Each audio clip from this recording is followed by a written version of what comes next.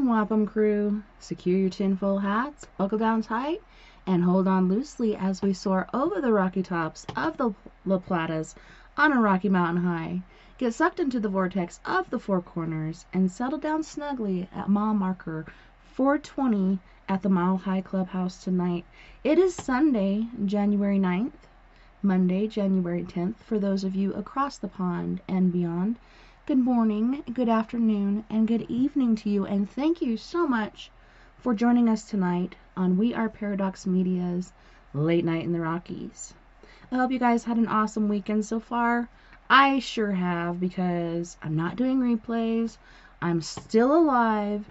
Yesterday was Elvis's birthday, and we had an awesome author on uh, by the name of Mr. Stephen B. Ubaney, and we talked about who murdered Elvis Presley. You really need to buy that book and read the whole story because it is very, very intriguing. The different things uh, that are going on with that story, and the different things we actually didn't touch on uh, because, yeah, you need to read the book so you could get the whole story. So, Sharon, I did not let the dogs out. I actually let the dogs in and I fed them and just just that simple act made me feel like I was going to die because I couldn't breathe. And uh, my heart hurts now.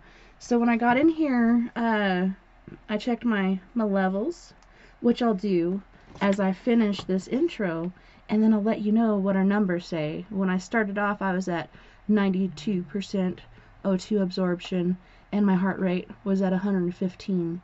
Uh, just sitting my ass here being fat and happy, which I've actually lost a lot of weight due to COVID. Thank you, COVID diet.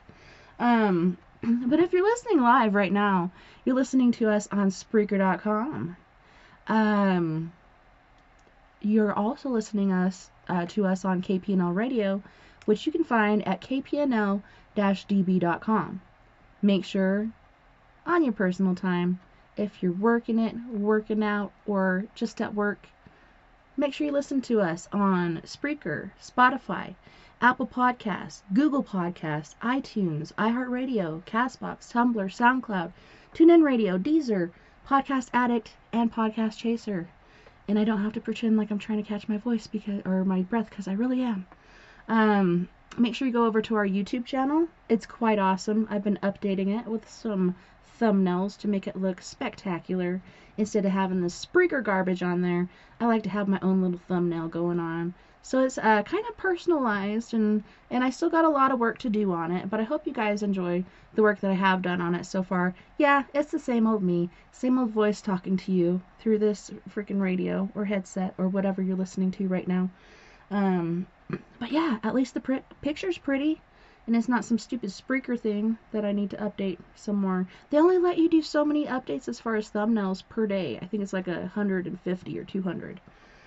Uh, so yeah, I got cut off last time, and then I got COVID, and then I, I really didn't get to uh, finish it. Hello, Miss Sharon. Hello, Champ, in the chat room. I believe we got Miss Sister Sandra in there as well. Let me look. Oh, Skywatcher, hey! Good to see you. Sorry about the replays, man you know, I really wanted to be here with you guys. I, I was able to do the Christmas show, which I felt out of my ever loving mind.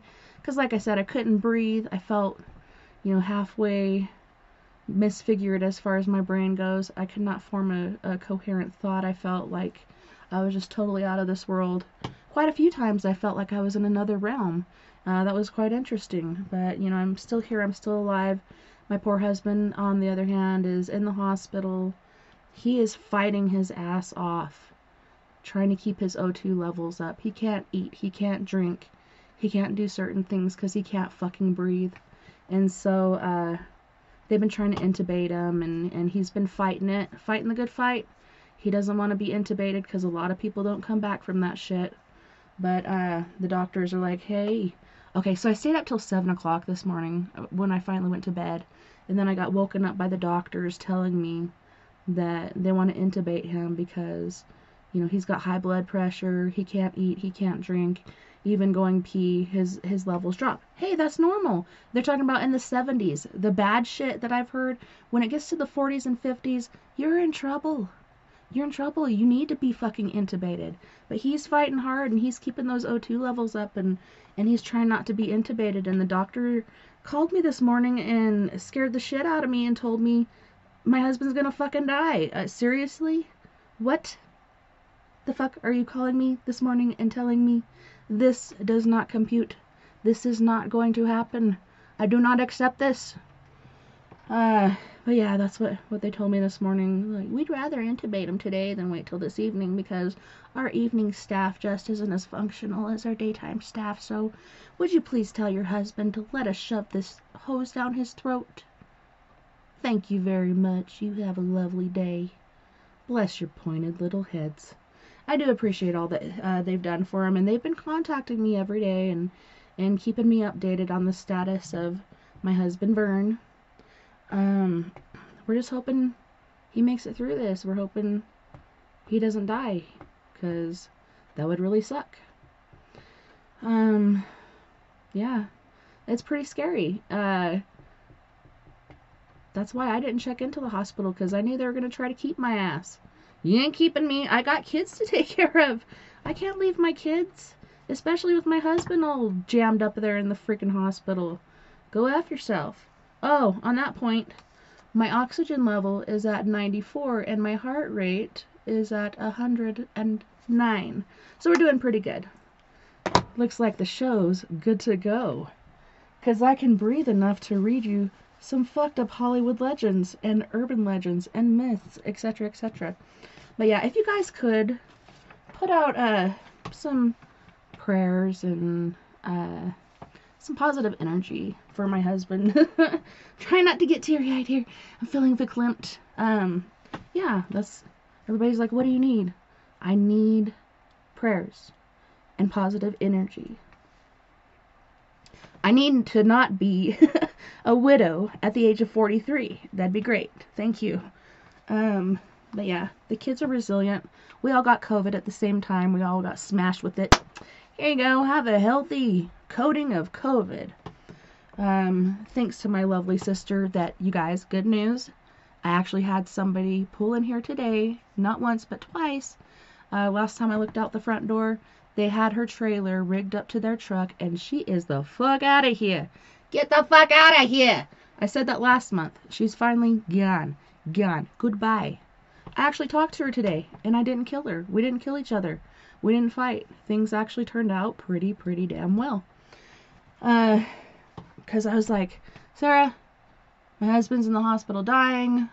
I can't pay for your electricity anymore. And somebody's coming to get your trailer right now. So get your shit together. And she's like, come in here. And I'm like, I don't want to come in your house. So I just stood at her door and talked to her. But yeah, I told her you got to get your shit together because cause you're leaving.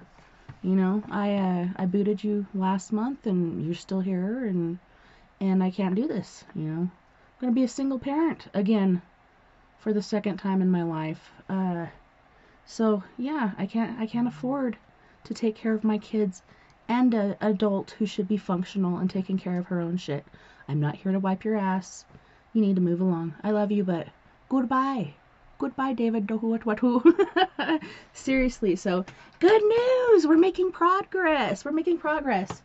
we just need to keep Vern alive, okay? So, if you can uh, say prayers, send positive energy, it would be much appreciated. I, I would really love you and appreciate you for that. But hello, everyone, and welcome to Storytime with me, Tessa TNT. Yes, I'm still alive. I, I, uh, it was looking pretty hairy for a bit, and and yeah, like I said, I'm I'm hard headed. Um, I did go to the hospital with my husband. I'm like, this is bullshit. This is bullshit. I don't want to go to the hospital. I don't need to go to the hospital. I can fight this. I could get through this. I don't want to be locked down. I don't want to be intubated. I don't know. I don't want all this other shit.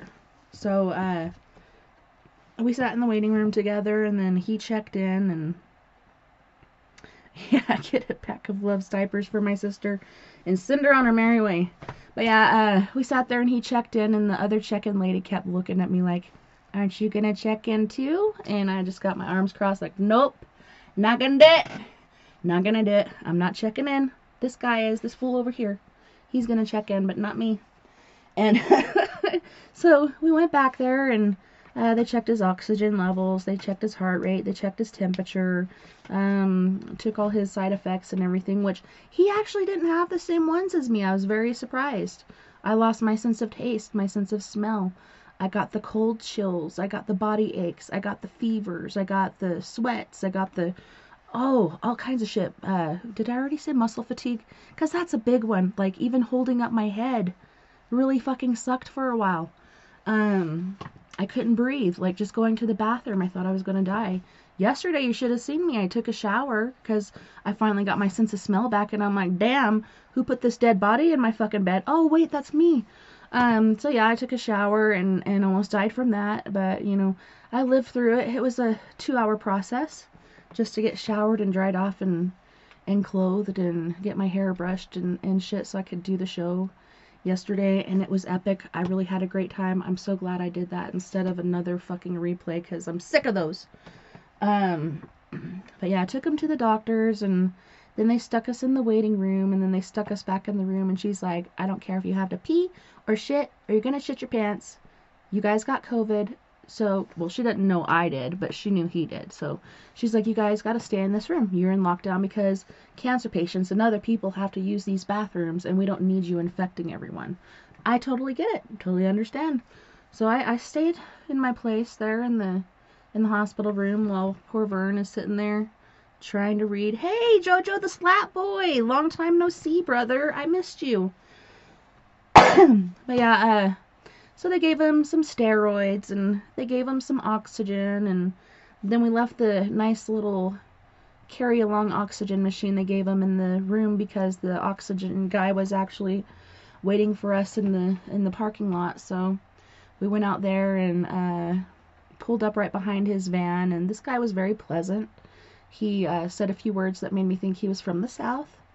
Um, very, very pleasant, nice demeanor, very professional. This guy needs a like four thumbs up for the great job he's doing. But he gave us some um, some oxygen bottles and an oxygen machine, and got Vern home, got him strapped in, and and you know, like I said, I didn't check in at the hospital. I don't trust those guys.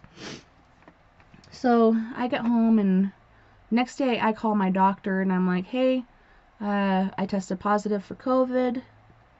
Can you please prescribe me this certain drug? I can actually look it up really quick. Uh, it's it's got a metha metha name in it. Let me look really quick, like.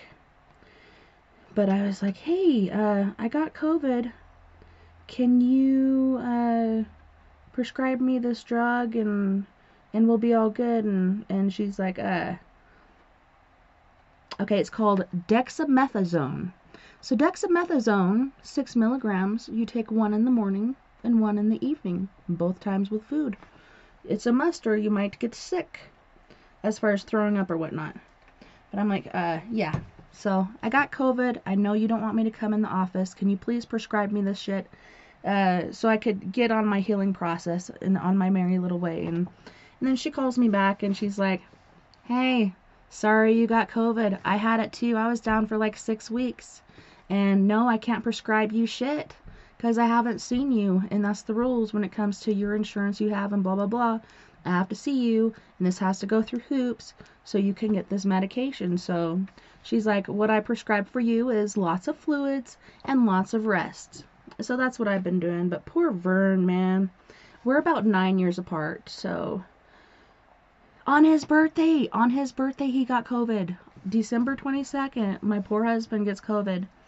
And, uh, I got it the day before, which we probably had it before then, but that's when it really kicked in on the gears. So we didn't even have Christmas dinner. Like all the Christmas dinner shopping we did and everything still sitting in the fridge. Um, but yeah, we all got sick. We opened presents, went went back to our our little humble places in in the world, which mine was my pillow and my bed, which I feel like I have cauliflower ear kinda, you know, that shit hurts. I had to actually start putting my fuzzy sweater in between my head and my pillow cuz ow. Um but yeah, just been getting lots of rest, lots of fluids, trying not to die. Uh Brave Sir Robin out there asked me, "Hey, you got any New Year's resolutions?" I'm like, yeah, brother, guess what I sure do? I got some New Year's resolutions. Stay the fuck out of the hospital and stay alive. Those are my two New Year's resolutions. If I can do that, I'll be good. But yeah, uh, right now it's It's looking good for us. Like the kids, like I said, they're resilient. They got sick. They were the first ones to get sick. Had I known what they had, I would have worn a mask when I was taking care of them, but I didn't know. And would that have even helped anyways? Who fucking knows? Um, it's too late for that. But yeah, so uh, they got sick, had their fevers, that it ran their course. Now they're ping ponging off the walls like they've had a freaking half gram of crack. Uh, everybody's like, hey, be quiet, we're trying to rest. Luckily, Nova, who is my uh, my immune deficient child, she is doing epic. Uh, she she's been the least sick out of all the kids. I'm very proud of her. Uh, she woke up the other day coughing and it, it, scared the shit out of me. I was like, oh boy, here we go. Here we go. Now it's Nova. Now it's Nova's turn. And uh, I just can't handle this shit. I can't. I can't. Uh, but luckily she's been resilient. The kids have been resilient. We've been good. I only half-ass died and we're just trying to keep my husband out of the gutter here. So we're trying to keep him alive. So like I asked before, please send your positive energy, your prayers, all that stuff for Vern because he really is a good guy and he deserves it. Nobody deserves this COVID shit. And you know what really chaps my hide? oh God. Okay, I don't ask for a lot, guys. Okay, sometimes I'll be like, hey, can you uh send me some money so I could keep my show going? Cause you know it costs money to do this shit. Um, and yes, some of you have done that, and I've really appreciated it. It's it's been epic. You guys are the best. Thank you for doing that like a year ago. Um, but yeah, I don't ask for a lot, and so I'm I'm asking my friends for prayers on Facebook, not for me, cause fuck me, I don't give a fuck about me. Um, I've had COVID. Nobody even fucking knows it. It's me that's had COVID. It's my husband who it hit really hard. Had it not hit him hard, I wouldn't have told anybody because people are so fucking nosy. Oh, did you get vaccinated? Oh, well, if you've been vaccinated, you'll survive. Go fuck yourself. You don't know. This is a new science. This is a new vaccination. Uh, even my daughter got vaccinated and her old man, and they caught it. Uh, so yeah, it's uh, it's stupid. All I'm asking for is prayers.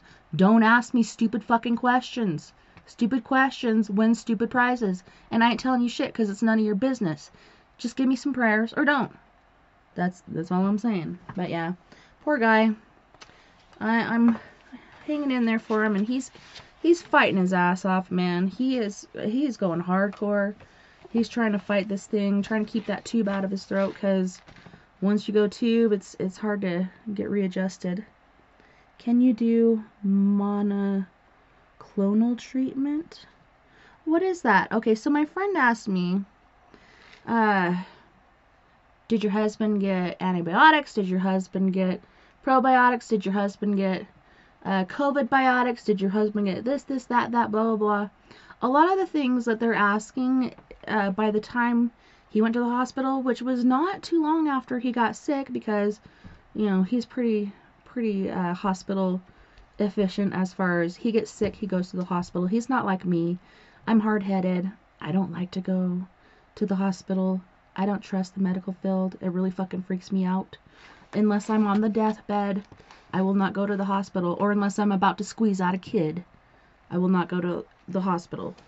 So, either squeezing out a kid or about to die, those are the two reasons I go to the hospital. So far, I haven't done that, but I'm trying to figure out what is the monoclonal treatment. Is that the antibodies and shit? Like taking antibodies from other people and giving it to the sick people? Or, uh, Jojo, can you, can you, uh, fill me in on that? What exactly that is? Because that sounds pretty interesting. Monoclonal treatment.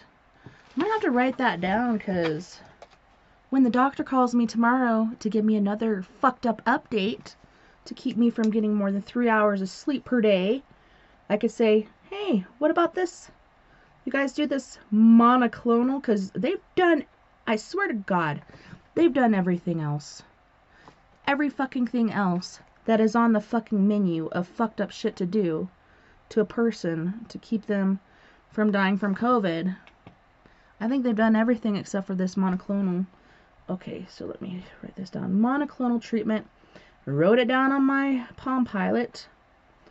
Soon to be on my Bob Ross. I actually bought myself a Bob Ross calendar this year for uh, Christmas. Bob Ross is awesome. I bought my daughter a pinup girl calendar because she loves the Goyles. Um, but yeah, mono, monoclonal treatment. Very interesting. Let me know. He needs a vitamin C shot. You know what, Sharon? when it comes to vitamin C, and my husband being sick, there's a proficient amount of vitamin C that a person should take to keep from getting sick and to stay healthy. But when he gets sick, he grabs that bottle of vitamin C and it's like eating Skittles. This guy doesn't know when to stop. He's like, "Oh, here, have like 10 more of these vitamin C's. It's to it's to cure what ails you." Okay, you say you have to take it within the first 10 days of symptoms. Yeah, I think it's too late for that cuz um, like I said, his symptoms kicked in on the 22nd and here we are on the 9th. So let's see. 1, 2, 3, 4, 5, 6, 7, 8, 9, 10. Yeah, the 31st was 10 days. So no, they didn't do that. Uh, you okay? Vitamin C shot sounds great. I've been taking my zinc, my vitamin C, my D3, my all my good stuff, and now I have heartburn. Holy shit!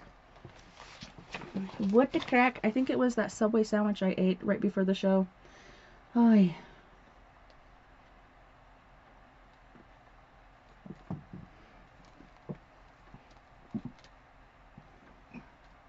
Oh, wow. I think I need some some Rolaids. I'm going to have to message my daughter. Hey, on your way home, can you grab some Rolaids? When you're bringing me that sushi. That was my special request for today. Okay, so like I said before, my uh, my symptoms, one of them and the worst thing being loss of taste and smell. And oh my gosh, at first it was kind of like a blessing because, you know, my husband rips ass, I don't have to smell it, like, you know, all the fucked up shit that stinks around my house. I don't have to smell it. Take ungodly amounts of vitamins according to my nephew. See, that's what my uh, husband does with vitamin C. Ungodly amounts of vitamin C. I'm like, you do know that a certain amount of vitamin C in your body is not good for you, right? Like, just because you haven't been taking it this whole time and now all of a sudden you're sick and you're taking tons of it does not mean it's going to make you better. High dose until you have the shits and then cut back on the dose good good advice for you guys not in the chat room. Sharon just said, "That's great. Take vitamin C, high dose until you have the shits, then come back cut back on the dose." So that's what our nurse, Miss Nurse Sharon, is uh, saying here. oh my gosh. Yeah, my thing is, it's so weird because I have a regimen of vitamins that I take every night, and I ran out of my DHA, and there's one more uh, that I ran out of and uh, once that happens, for some reason, like I I fall off the whole fucking wagon.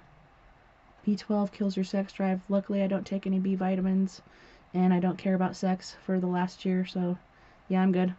Um, but yeah, anytime I run out of like two of my vitamins, so my DHA and there's one more uh, that I ran out of, I kind of just fall off the whole vitamin wagon. I should just keep taking it, and I did for a little bit, but then the heartburn was kicking in, which I still have really bad. I need to text uh, Kinsey right now. Grab me some Rolaids. Oh, I'll see you in the morning. Holy crap. Grab me some Rolaids, please. So, uh, I think I just got some bad news from from the guy who was Man, I said Rolaids, not Rollins. What are Rollins? oh my gosh. And so the guy that was going to haul my sister's trailer out, I thought I got rid of the bitch. I think I'm stuck for another day. But he said, they were out here and we've been working on it. I'm going to come back in the morning with some different equipment to get this out of here. I'll see you then. Sorry, little more work. Things are broke on the trailer. I'll see you in the morning. What the heck? I wonder what she did. I wonder if she sabotaged it. We got the trailer in here. We should be able to get the trailer out. Like, what the crack?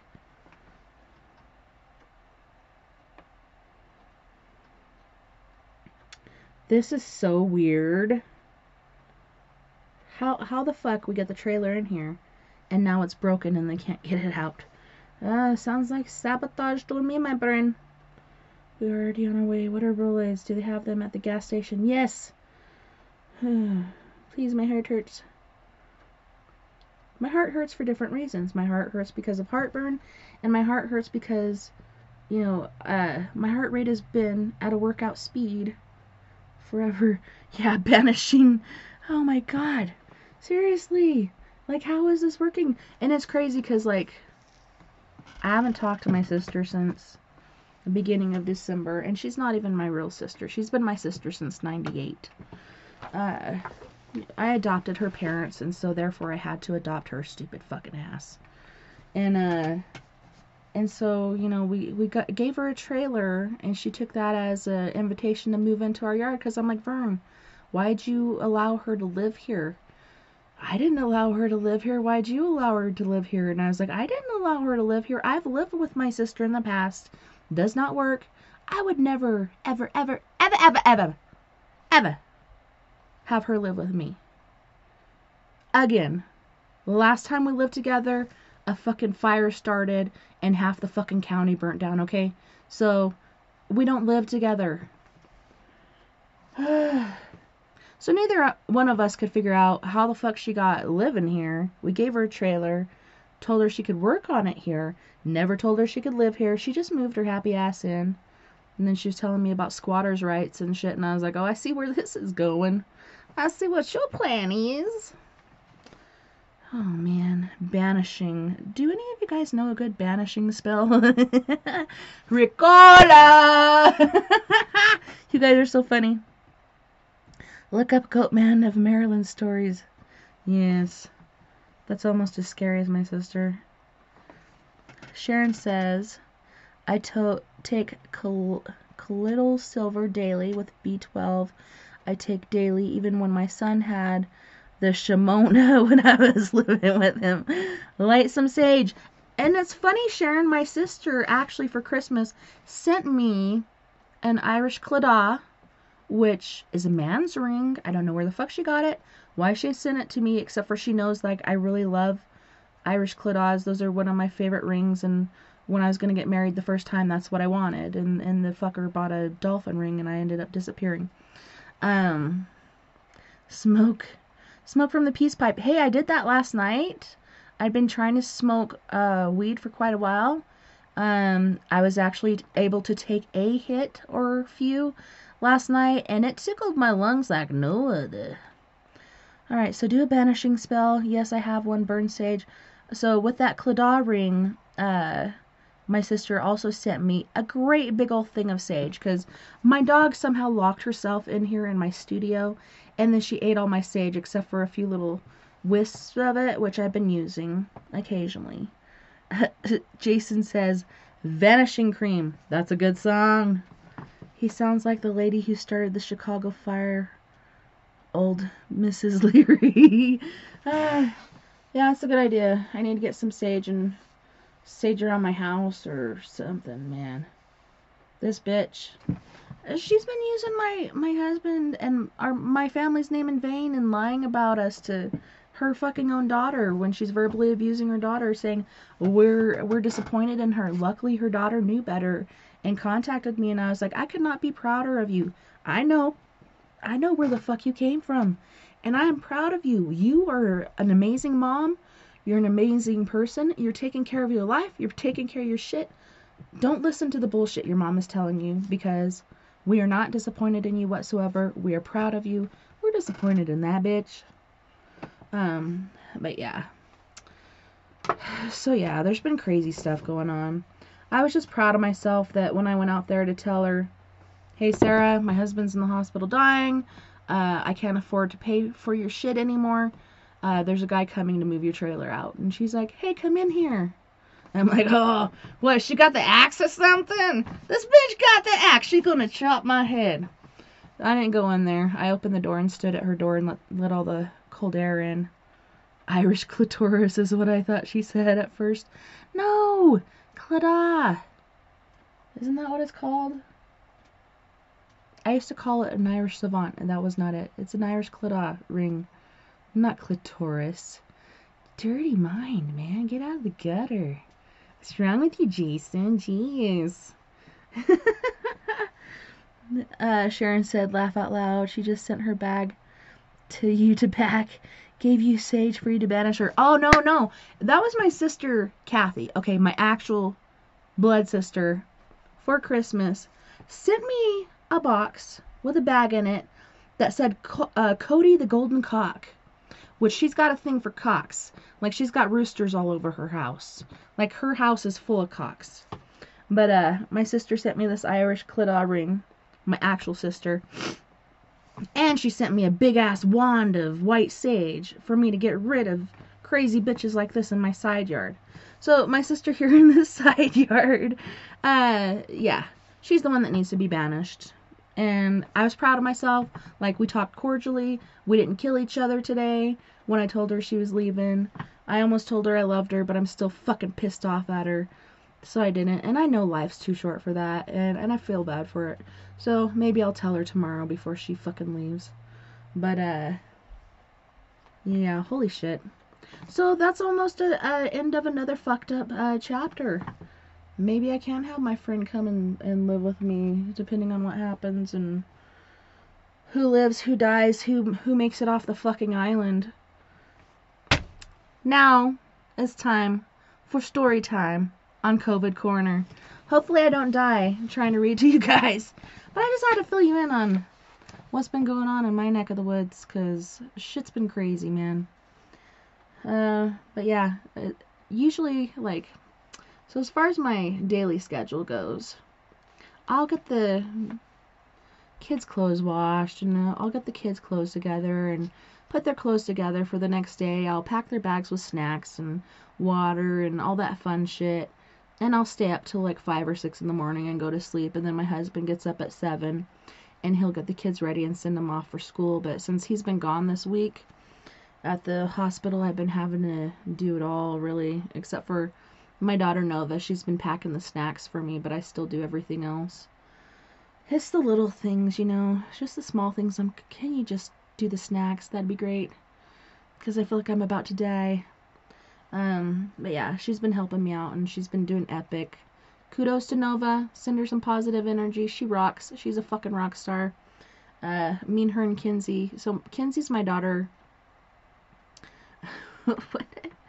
yeah, Kathy loves cock. She's got it all over her house. Um, and she went to rehab, guys. She finally did it. So she said, "Oh, the Monday after Christmas, I'm going to rehab." And then, uh, so I didn't call her or anything, and um, and then I got her package, and I was like, "Well, yeah, really haven't heard anything from her, but uh,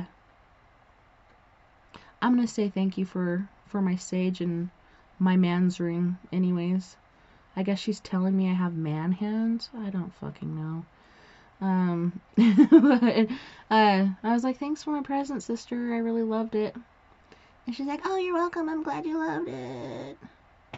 And then, then I knew she was still at home and, and she didn't go into rehab like she said she was going to. And, uh, so, uh, the other night I'm laying in bed trying not to die and uh, she's like, hey, are you still awake? And it's like 3 o'clock in the morning. So, fuck yeah, I'm still awake. And uh, so she calls me and she's like, hey, I, I just wanted to let you know I'm glad you liked your present. And, and I'm going to rehab in the morning. And uh, I probably won't be able to call you for a while, but but I'll write you and I'll let you know what the address is and everything. So, so my sister went to rehab and it was funny because uh, a weekend or two ago i think it was the weekend so it was the night of the christmas party that we did here online.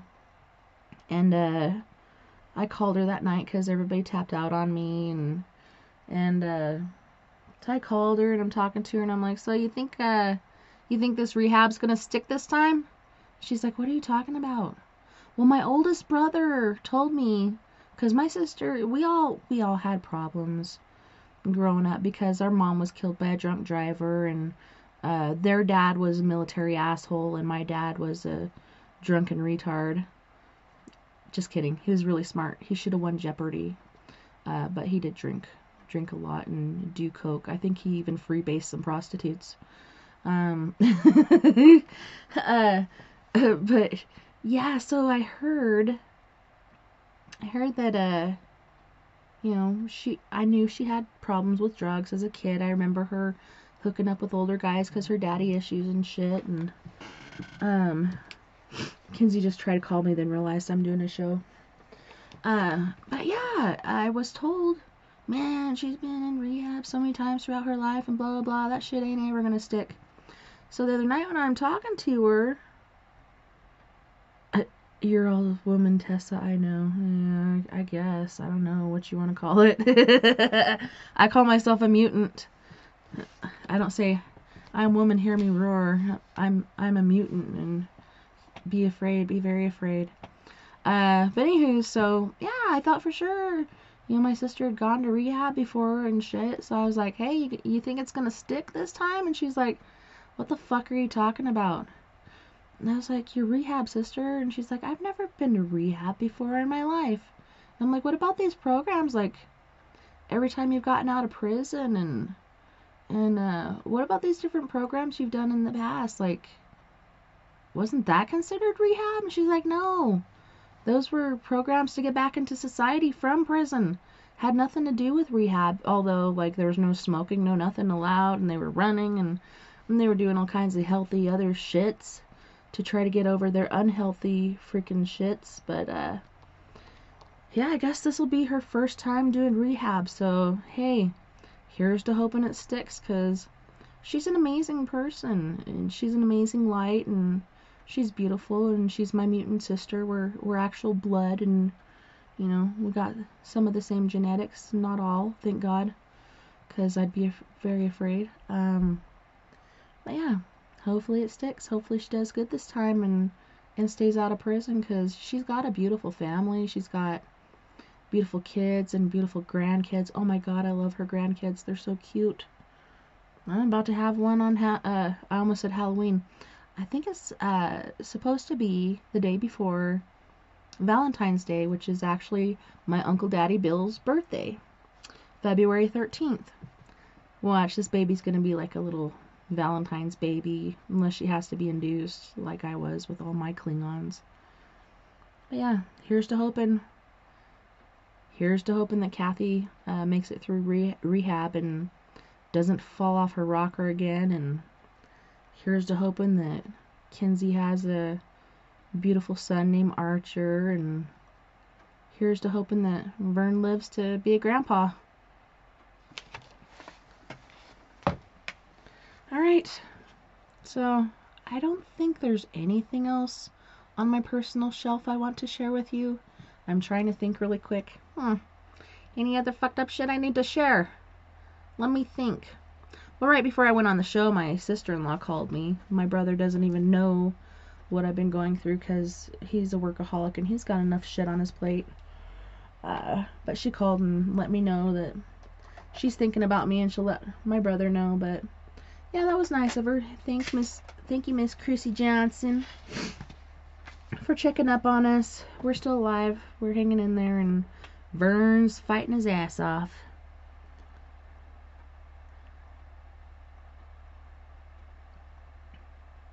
Taking healthy shits ensures a healthy colon.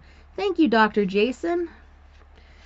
All right, so the book that we've been reading from in the past is called Hollywood Urban Legends, the truth behind all those delightfully persistent myths of film, television, and musica. Pubic places. Beware of pubic places. Make sure you guys satanize your hands, okay? Wash and satanize your hands before you come up in my house. Because God forbid I get another bout of COVID. I might have to kill somebody this time. Alright, so we left off on Fargoing the truth. So this is the uh, truth, myth, and lore, and blah blah blah behind Fargo. We actually got. I don't even know. I might even restart this story. Oh man, I guess I will because it's only a really a page and a half.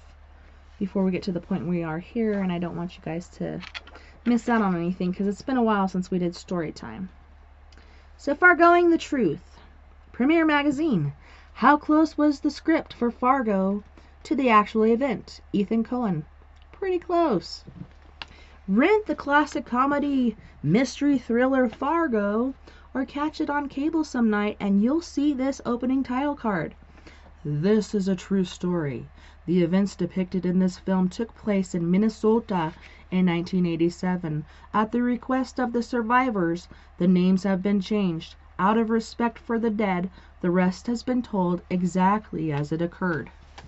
So, when I saw Fargo for the first time, I was quickly enveloped in its quirky, dark charm, which resonated all the more with me because I believed I was actually watching a fictionalized rendition of events that really occurred. So as the story unraveled, I couldn't wait to find the newspaper articles or perhaps even a book that would fill me in on the real story of Chief Gunderson, or whatever her true name might be, and her pursuit of the corrupt auto dealer, Jerry Lundegaard, and the two psychotic lumps of evil he had hired to kidnap his wife. Turns out the joke was on me. there were no articles to be found in the archives of the Minnesota papers, nor had any of the books been written about the supposed kidnapping scam in 1987 that went haywire and eventually led to seven murders in various Minnesota towns. So that's because none of that stuff ever happened. Fargo was 100% fiction, and the true story ruse was just another practical joke from those wacky Coen brothers, Joel and Ethan. So, the Coens have a reputation for playing around with the facts and with the media in this fashion. For example, even though they edit their own movies, they've created a fictional editor named Roderick Jaynes, a pompous sort who has supposedly written the introduction for the printed versions of some Coen scripts and has talked up his contributions to Barton Fink and Miller's Crossing while subtly jabbing Ethan and Joel. Still, one can't really fault the scores of reviewers and feature writers who believed Fargo was based in reality. Strange and Byzantine as the story was, it wasn't any more bizarre than some of the true life crime stories we hear about all the time. And even the production notes in the press kit said it was a true story. And so Premiere Magazine called Fargo a true life tale. And the film uh, Threat magazine said Fargo was based on a true tale of a botched kidnapping. And the movie critic for the Orlando Sentinel wrote, this is a true story, explains an introductory note, and as eccentric as the new film is, its story indeed rings true. In most movies about real events, the filmmakers leave out information that would get in the way of the main storyline. But one of Fargo's strengths is that the odd, awkward details don't appear to have been airbrushed away. So even the South China Post got into the act, and in 1996 review, Fargo, then, is a different kind of project based on an actual event that took place in Minnesota in the American Midwest in 1987. But some enterprising reporters started doing some checking, and it was quickly apparent that Fargo wasn't any more reality based than The Wizard of Oz. First, there's not a single person in Minnesota who can remember anything like the plot of Fargo unfolding in real life in the 1980s. You'd think people in a small town like Brainerd, Minnesota, would remember things like a cop getting shot, and an auto salesman arranging for his wife's kidnapping, and a string of murders, not to mention the pregnant police chief who eventually brought the killers to justice. As a statistician Kathleen Leatherman of the Minnesota Bureau of uh, Criminal Apprehension told the Minneapolis Star Tribune, "This is major fiction. There were no officers killed in 1987, and there's nothing that even vaguely relates to these circumstances. I'd still put Fargo on my list of the 100 greatest American movies, and it's an original and sly piece of work charged with terrific writing, faultless pacing, and a smart cast led by Fred Frances McDormand. Oh look, never brought sushi. What the fuck is this? That's all they had. I got one for me too. Well, it looks delightful. Thank you I so accidentally much. dropped it, but it didn't break Hey. it. there, so. It'll go down the same way. Um, we might go down to Kinsey's for a bit. okay. I love you. I love you too. Thank you for my rollates and my my California salad roll. Man, I wanted a rainbow roll. I wanted some sick ass fresh fish for my sick ass. Okay, where were we? Oh, there we go. Oh, there you go. Okay, so I still put Fargo on my list of the 100 greatest American movies. It's an original and a sly piece of work charged with terrific writing, faultless pacing, and a smart cast, led by Frances McDormand in her Oscar winning performance. But I wonder, would it have been quite so captivating that first time I saw it had I not been under the mistaken impression that it was based on a true story? I'll never know. The experience is locked in the past and cannot be revisited or revised. So, in a way, the Coen brothers' dishonest little joke backfired on them. The minor tempest created by the is it real or not investigations and the subsequent articles about the controversy served as a minor distraction from what should have been a pure celebration of innovative filmmaking. The legacy of Fargo was ever so slightly bruised by the brothers' lie, and they have only themselves to blame. Sometimes you can be just a little too clever for your own damn good. Sorry, I uh, went a little uh, Elmer Fudd there. Uh, I was just reading uh, Jason's com- comments. Sharon, come sit on my lap while Tessa reads. Um, excuse me, what the fuck is Fargo? Have you not ever seen Fargo, Sharon? My, my Sharon, come on. It's a movie. You betcha. You gotta watch this movie if you haven't ever seen this movie, Fargo. You betcha, it's a good one. It's a good one. I'll tell you what, you're really missing out if you don't uh you don't listen to this or watch this Fargo movie. Let's see. I guess I could get into this next story before we go to our break. You gotta watch it, dude. It's like, it's classic fucking cinema. You gotta watch this movie. You know the, the person being fed through the wood chopper, and even Nicolas Cage is in there, bitch. You gotta watch it. Nicolas Cage, man. You betcha. And just just the accent, you know, from Fargo. You betcha. It's a good one. Never, says Sharon. All right.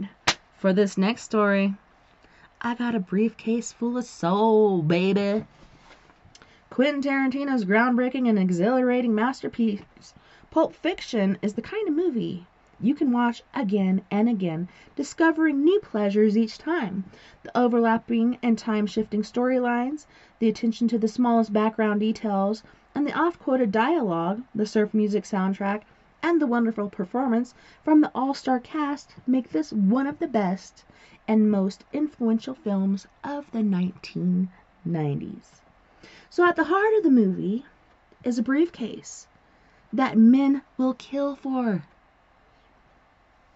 When one of one has this briefcase in his possession and opens it for the first time to behold the glowing miracle inside, he is reduced to uh, speechless awe.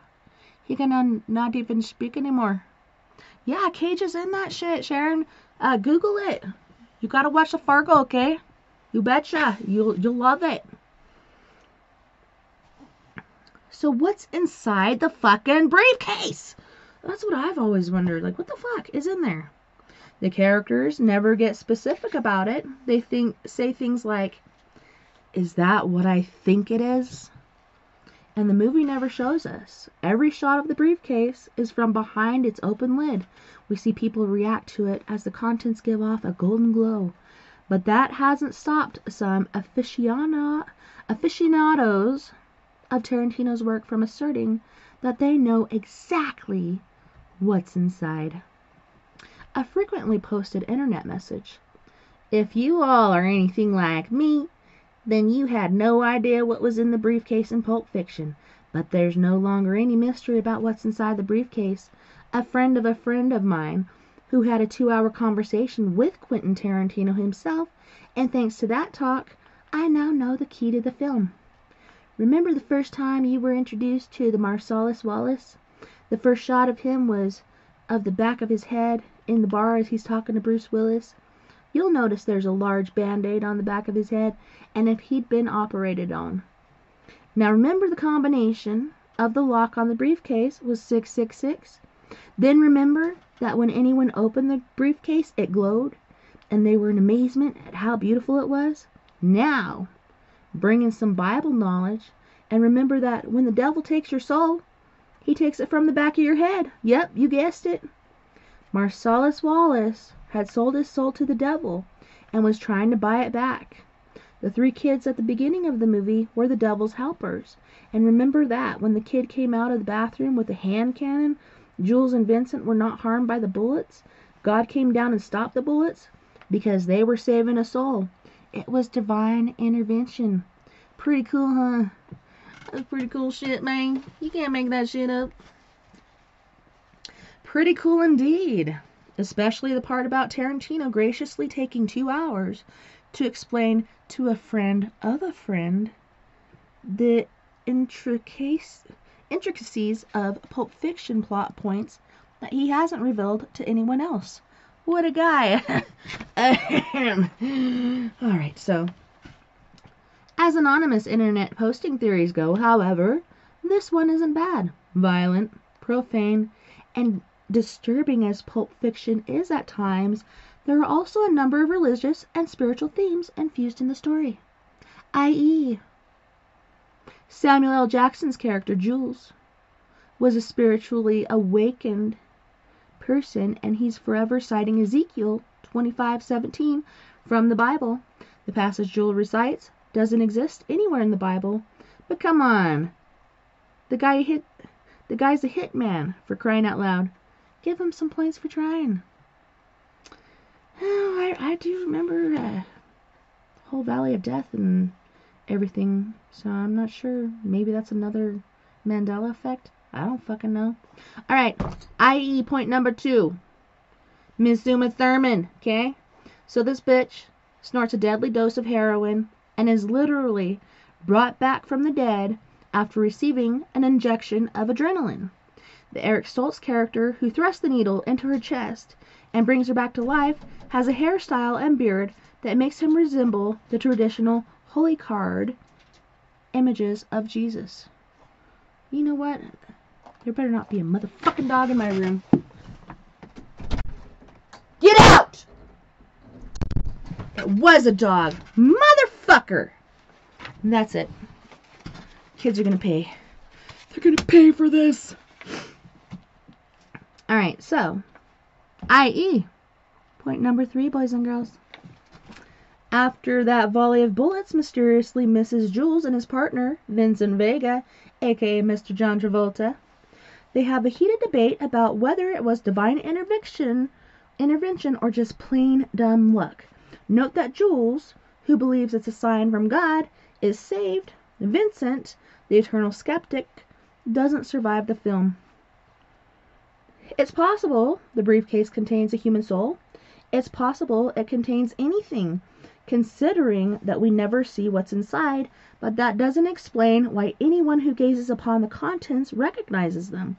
I don't know about you, but I have no idea what a human soul looks like. Maybe it comes with a label. Who knows? In 1994, the Toronto Star invited readers to uh, send in their theories on what was in the briefcase. The most popular suggestion was an Oscar. other entries. Number one, the severed ear from Reservoir Dogs.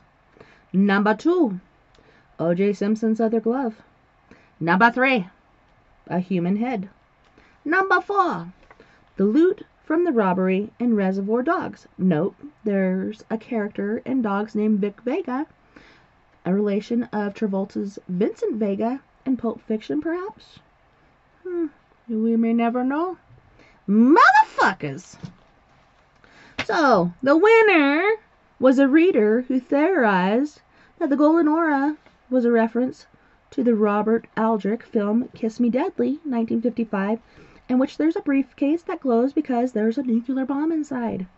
Pulp Fiction star John Travolta said in a 1994 interview, I don't know what's in the case, and Quentin doesn't want us to say, even if we think we have an idea, but he does want everyone to have their own interpretation, and I like that. Some people say it's the hope of man. With all due respect, John, the hope of man is that you don't do a sequel to Battlefield Earth. My colleague Robert or Roger Ebert tackled the briefcase mystery in a couple of his syndicated Answer Man columns, one of which included an explanation from Roger Avary, who along with Tarantino won the Academy Award for Best Original Screenplay for their script. Originally, the briefcase contained diamonds, brought, uh, wrote Avary, but that was just that just seemed too boring and predictable, so it was decided that the contents of the briefcase were never to be seen. This way each audience member would fill in the blank with their own ultimate contents. All you were supposed to know was that it was so beautiful. No prop master can come up with something bigger than each individual's imagination, and at least that was the original idea. Avary goes on to explain that somebody made the decision to put an orange light bulb in the briefcase, a decision he calls a mistake which narrowed the mystery item's possibilities to something supernatural. Despite the friend of a friend's claim that Tarantino has settled the debate, he has never gone on the record with an explanation of the Pulp Fiction mystery, probably because there is no explanation. It's whatever you want it to be. Personally, I think it's a miniature tanning bed. That that would explain the glow. Well, for me, guys, I thought uh, it was okay. So remember when uh, when that guy was uh, assaulted by the by the freak and, and shit, and pretty sure it was that guy's penis. I I thought he, they cut off his penis and stole it, and it's in a briefcase, and that's why he wanted it so bad, because that was that was his vendetta. That was his uh, what do they call it? Man, COVID brain. Mm. Not victory. What the crack is the word? When you get back at somebody. I can't think of it. Mm. It's futile. Anyways, I thought it was his way of getting back at the guy. Hey, I got your penis after you sexually assaulted me. Um, his revenge. That's it. The R word. Revenge. All right, Ms. Mia Wallace. We motherfuckers are going to go to our first musical break. On this break, we have Mr. Brick Casey from Boston with Mr. Cellular Man. Then we got Miss Mocha T with Future Plan and Miss Mystique with If I Slip and I Want It All. You guys don't go anywhere. We'll be right back after this musical break. Hello? I'm trying to call my baby, but it ain't picking up. Hello? Hello? Listen, Mr. Operator. I've been up all day and I'm trying to dial my baby's number. See it only rings straight to the machine. 617. Now I know something must be wrong with this cell phone.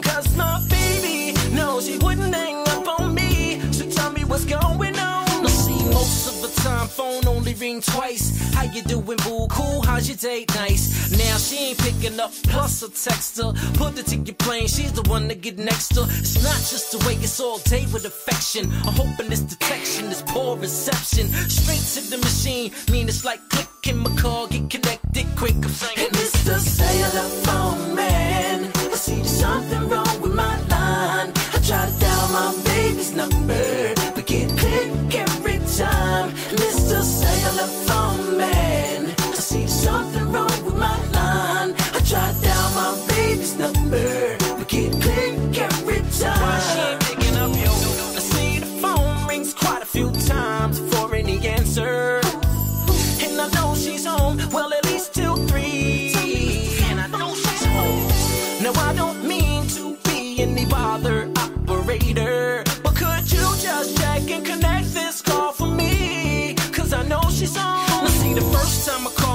maybe she working. And the second time I call, I'm like, little bit hurting. But the third time I call, I'm like, going berserk. Now half a day gone. Can't get her on the horn.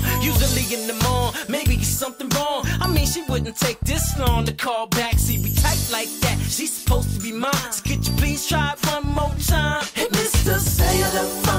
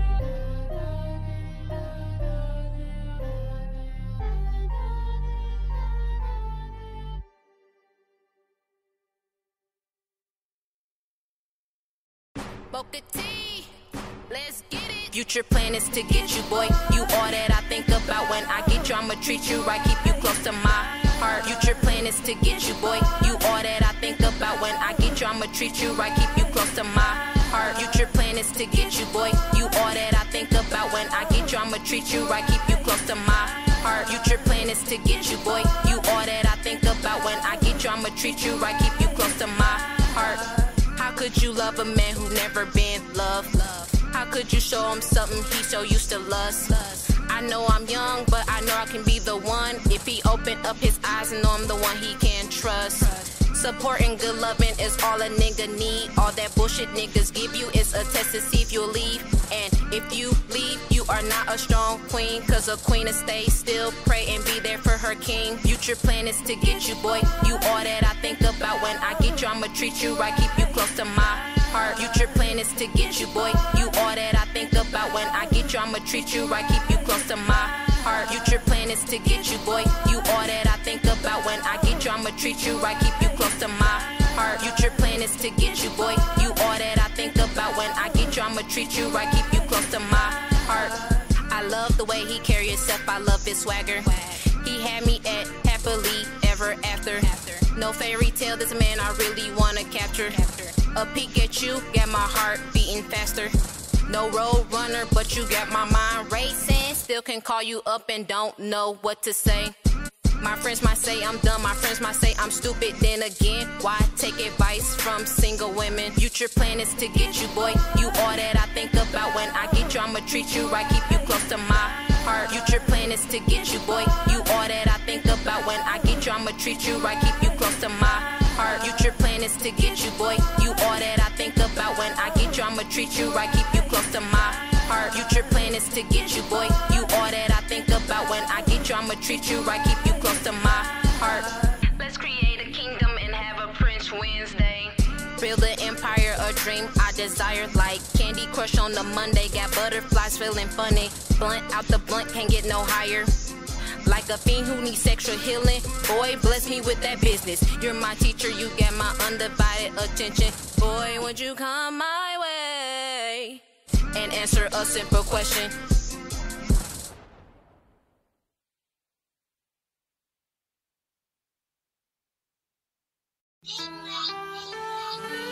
Yeah. Yeah. Okay. I want it all. I want it all. Even if you stepping out of bounds, keep ballin', keep ballin'. I want it all. Diamonds and cars. Building big yachts, close up the stars. Buying the bars. Own it is ours. I want it all. Big or small. No more of a downfall. I want it all. I want it all. I want it all. I could sign your baseball. Money making it rain fall on a big mall. Owning the whole block. Driving to the mailbox. Cruising in my yacht, I gotta get up out this box. I want it all. I always knew that I would be rich. Don't doubt for a minute. Speaking to existence, hoping and feeling to give away a million. Just be chilling in the tallest building. Say hello to the mission and vision with me. Hello. Watch cost about a hundred and fifty Rolex diamond luxury city. Next the arrival. Lamborghini with bass high, I can hear it all. Sit back, sun roof up is the stars. High performance cars, super saloon, exclusive rim spinning hard. Always wanted to build a park. Yeah, obstacles to enter. A lot more for the kids. Recreation centers. I want it all. Red bricks, cream coated, painted marble fountain as I pass. Walking the stone path, heated pool. Home theater for all family. Wanna do it for my city. Can't wait to see the chandeliers hanging from the ceiling. I want it all. Diamonds and cars. Building big yachts, close up the stars. Buying the bars. Own it is ours. I want it all. Big or small. No more of a downfall. I want it all. I want it all. I want it all. I could sign your baseball. Money making it rain fall on a big mall. Owning the whole block. Driving to the mailbox. Cruising in my yacht, I gotta get up out this box. I want it all. I'm inside of a dungeon, life involves repercussions. Do convince that consequences leave me boxed up, feeling suction. How could this bad mistake have me thinking ways to escape? Catching the case, wanting it all has been replaced. Look at a cellmate face, I know they can't relate. I know trust in the soul, heck no, it's to stay safe. Up in the place where my food is cold on my plate. No breaks, it's a time to concentrate. Watching my back, got stabbed by too many snakes. Two times dragged against the bars is a rude away. Mind race, body cold, hard to embrace. The situation made me think, why did I miss the hate? And common sense of being solved in so many ways. During the problem thoughts, I forgot I wanted it all. Forgot I had a dream to rule it, forgot to remember that all my fans had a part that I can have it all. I want it all, staring at the walls, walking down the halls, wait for my collect. Call supposed to be at a concert hall. Instead, I want it all behind bars. Can't reach for a star. It's a fear. I want it all. I want it all. I want it all. I want it all. I want it all. Diamonds and cars. Diamonds and cars. Building big yards. Building big yards. Close up the stars. Close up the stars. Buying the bars. Buying the bars. Own it all. Big small, no more of a downfall. I want it all. Diamonds and cars. Building big. Close up the stars. Buying the bars. Own it is ours. I want it all. I want it big or small, no more of a downfall. I want it all. I want it all. I want it all. I can sign your baseball. Money making it rain fall on a big mall. Owning the whole block. Driving to the mailbox. Cruising in my yacht. I gotta get up out this box. I want it all. Mystique. Mystique. Mystique. Wow. That was amazing. Welcome back, guys. Thank you so much for dealing with that musical break. And thank you so much for joining us tonight on We Are Paradox Media's Late Night in the Rockies. I'm so grateful to be here with you guys and uh, to share story time. It's been pretty intriguing so far. What do you guys think were in Mr. Wallace's briefcase? Put it in the chat room. Let me know. What do you think was in there? Pretty sure it was that guy's penis. But, uh, yeah. That's just me. What do you think it was? Was it a soul? Was it, a. some of the other things they said it was? Was it a Grammy?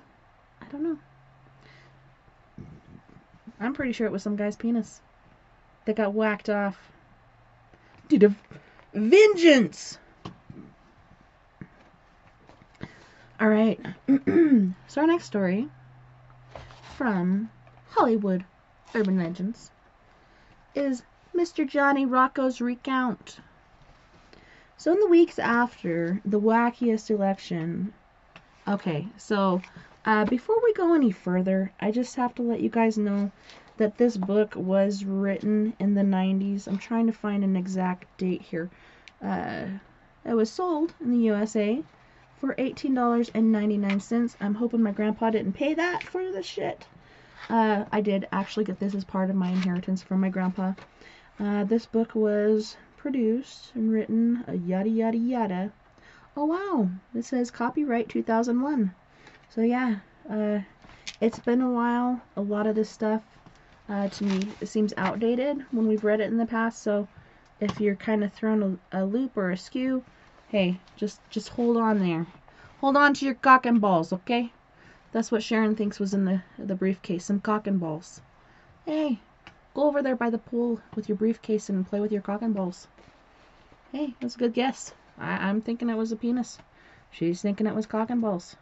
What do you guys think was in Mr. Wallace's briefcase? Inquiring minds want to know. Okay? Alright, so, Johnny Rocco's recount. So, in, in the weeks after the wackiest election in the last hundred years of American history, a number of cute little urban legends pertaining to the vote started to sprout in cyberspace. One such story had the 16th century prognosticator known as Nostradamus making this claim in 1555. Come the millennium, month 12, in the home of the greatest power, the village idiot will come forth to be acclaimed the leader.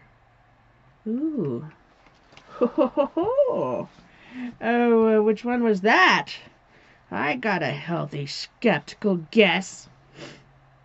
So, Democrats in particular seem to delight in the passing of his message around. To them, it was a way of saying, okay, we realize you're stuck with this Bush guy, but that doesn't mean he's any smarter than he was last month. Nostradamus had it right. So, the only drawback, and you don't have to be Nostradamus to see this one coming, is that the never. Uh, the man never wrote anything like that, besides The Village Idiot in the home of the greatest power, as we close out the year of 2000, wasn't George W. Bush. It was that guy on MTV's show Jackass. Nostradamus was rarely so specific in his predictions. When he did peer into the future, he would write stuff like, The year 1999, seven months. From the sky will come the great king of terror, to resuscitate the great king of the Mongols. Before and after Mars reigns, go by good luck. Okay, so that happened. But there's no mention there or any of the Nostradamus quatrains of a village idiot coming to power, according to the experts who run the various Nostradamus websites. Nor, for that matter, was there any validity to another quotable quote that made the rounds the claim that Joseph Stalin once said, It's not the people who vote that count, it's the people who count the votes. As if Stalin ever had to worry about such things. And then there's my favorite election related UL the claim that an Edward G. Robinson monologue from 1948's Key Largo was particularly well suited to what was happening during the long recount controversy. The speech was misquoted and or misinterpreted in a number of newspapers, and of course the erroneous version flew over the internet. According to the half correct quote, which appeared in the Boston Globe and the New York Times, and which was later corrected by both newspapers, the gangster, Johnny Rocco, says, Let me tell you about Florida politicians. I make them. Then after the election we count the votes, and if they don't turn out right, we recount them and recount them again until they do. Not quite. First, the setup. Key Largo stars Humphrey Bogart as a war hero who visits the father and the young widow widow Lauren Bacall of an Army pal. Bogey's character was a circulation manager for the newspaper before the war. The hotel operated by his pal's dad has been taken over by a gang of hoodlums led by Robinson's Johnny Rocco, a Midwestern gangster with ties to Chicago and Milwaukee who has been in exile in Cuba for the last eight years, but is trying to make a comeback in the Florida Keys. Who wouldn't? A nosy deputy gets conked on the head by one of Rocco's boys. After the deputy has regained consciousness, he joins a room full of people that includes Bogey and Bacall.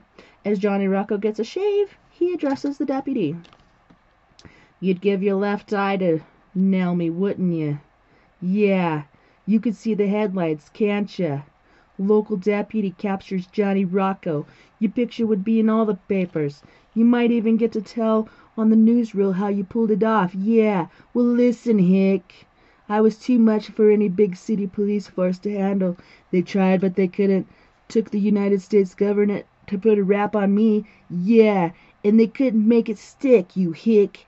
I'll be back pulling strings to get guys elected mayor and governor before you ever get a ten buck raise. Yeah, how many of those guys in office owe everything to me? I made them. Yeah, I made 'em. Just like a like a tailor makes a suit of clothes. I take a nobody, see, teach him what to do, get his name in the paper, pay for his campaign expenses, dish out a lot of groceries and coal, get my boys to bring the voters out, and then count the votes over and over again until they added up right and he was elected. Yeah, then what happens? Did he remember when the going got tough, when the heat was on? No, he didn't wanna. All he wanted was to save his own dirty neck. Yeah, public enemy, he calls me. Me, who gave him his public, all wrapped up with a fancy bow on it.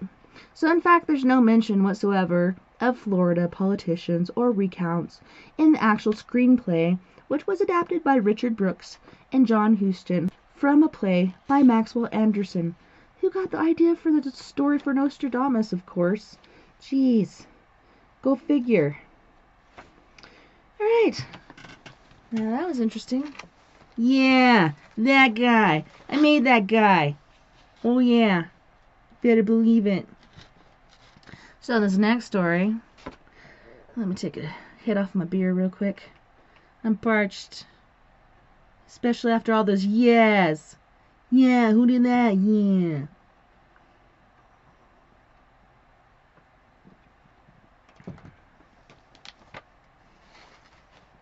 so foamy. So this next story is called I'm drunk and you're a prostitute. Okay? Got it? Alright, good. Movie titles are like names for rock bands. We've used up most of the good ones, but you have to call your product something, don't you? People can't be expected to pay $8 or $10 for a ticket to something titled A Big Fat Stupid Movie We Hope You Like. Come to think of it, that's not a bad title. Copyright 2001 by Richard Roeper.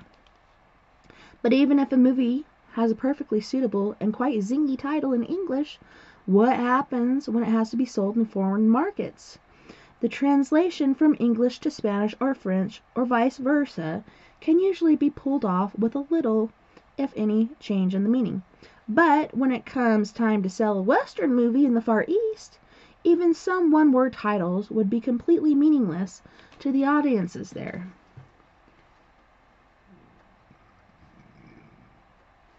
Man, I think there's a demon in my gullet.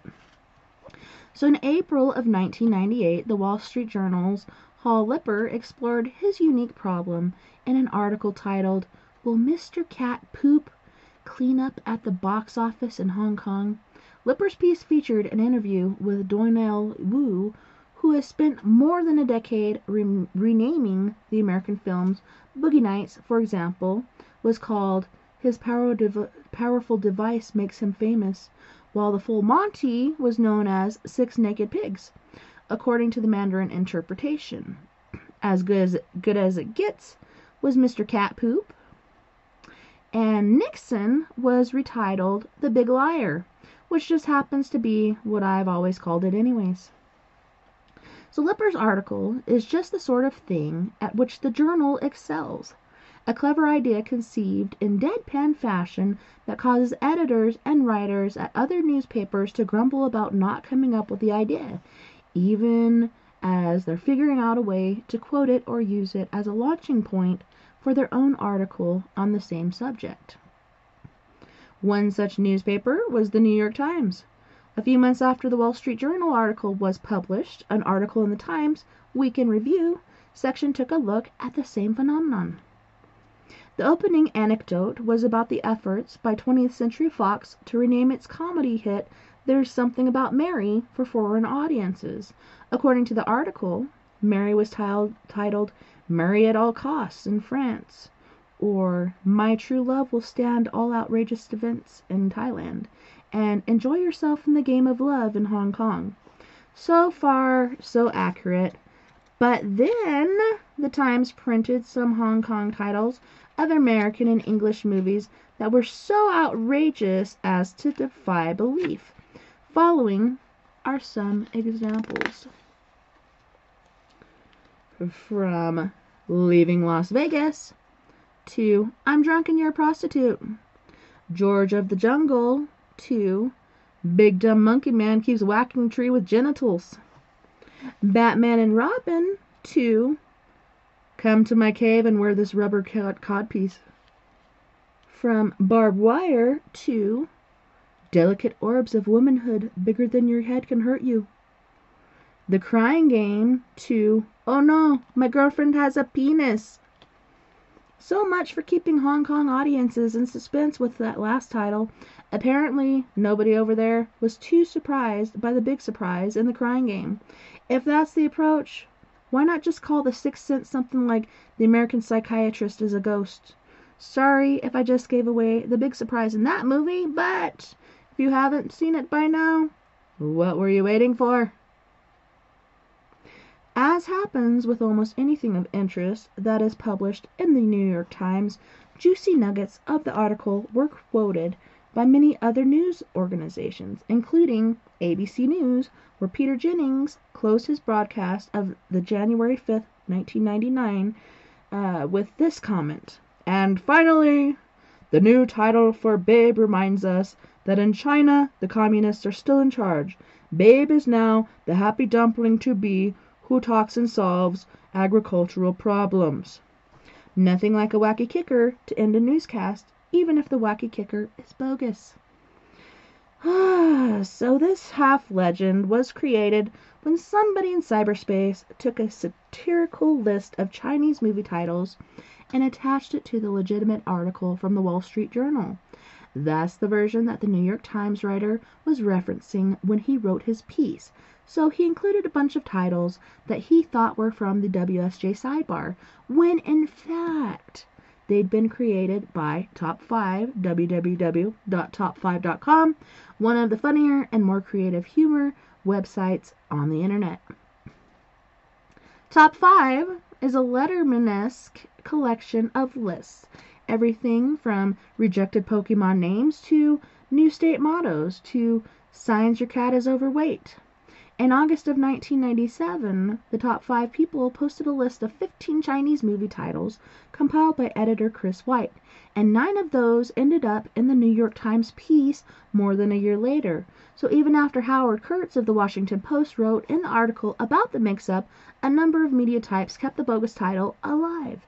For example, the aforementioned Mr. Jennings, who used the babe anecdote a full month after the Kurtz article. Top Five's White told me he's not surprised, but he is frustrated that his work has been hijacked in this manner. There's a Wild West mentality regarding the internet that laws don't apply there. I'm constantly amazed that people who should know better fall for this lazy way of thinking. Top 5 material has shown up uncredited in major newspapers and on network TV, quite often in human co- uh, humor columns credit, when given, is usually along the lines of "This is from the Internet," but more often the author fails to mention that the material is from another source, simply stealing top five material and passing it off as his or her own. More agonizing is the fact that since we started Top 5 in 1994, I've received reports from Top 5 readers of more than 300 radio stations worldwide that have used our material. And 95% of them not only fail to use us as credit, but they act as if they themselves wrote the material. White makes a good point, whereas the vast majority of journalists and even most radio hosts wouldn't dare lift material verbatim from a book or magazine for fear of plagiarism. Oh, golly jeez. There's a different mentality about the internet, as if we all have an inherent right to pluck material from cyberspace and call it our own. In the case of the Chinese movie titles, nobody was intentionally deceiving the public. It's just that some really smart people at some really influential news organizations were gullible enough to believe that Twister would be retitled Run! Run! Cloudzilla! Cloudzilla! It's Cloudzilla! Cloudzilla! Or that the piano would be called Ungrateful Adulteress. I'd chop off your finger. Sure, yeah. And I suppose Titanic would be My beautiful new boyfriend is frozen and dead in the water. Actually, Titanic was called, well, Titanic in just about every country it was released. So, the top five guys were the beneficiaries of a publicity windfall again in the spring of 2000 when Al Gore did a stand up routine for the Anti Defamation League and was highlighted by his list of Jewish and country western songs, including I Was One of the Chosen People until she chose somebody else. The second time she said shalom, I know she meant goodbye, and I've got my foot on the glass, now where are you? Nobody thought Gore himself wrote the jokes, but it was assumed that his staff had dreamed up the routine until news organizations reported that the songs were lifted from the top 5 website. Not only that, but Gore wasn't even using the top 13 Jewish country and western songs. As compiled by White, he was working from a list of runners up. The winners on the list included Achy Breaky Hip, All My Exes Made in Exodus, and All Right Already Enough with Infidelity. Well, geez. That was that was a great chapter. What do you think? Where's all the cheers and jeers?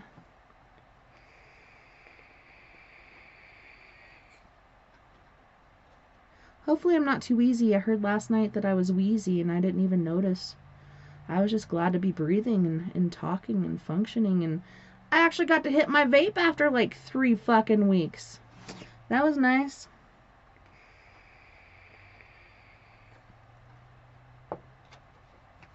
So this next one is called The Jesus Chronicles.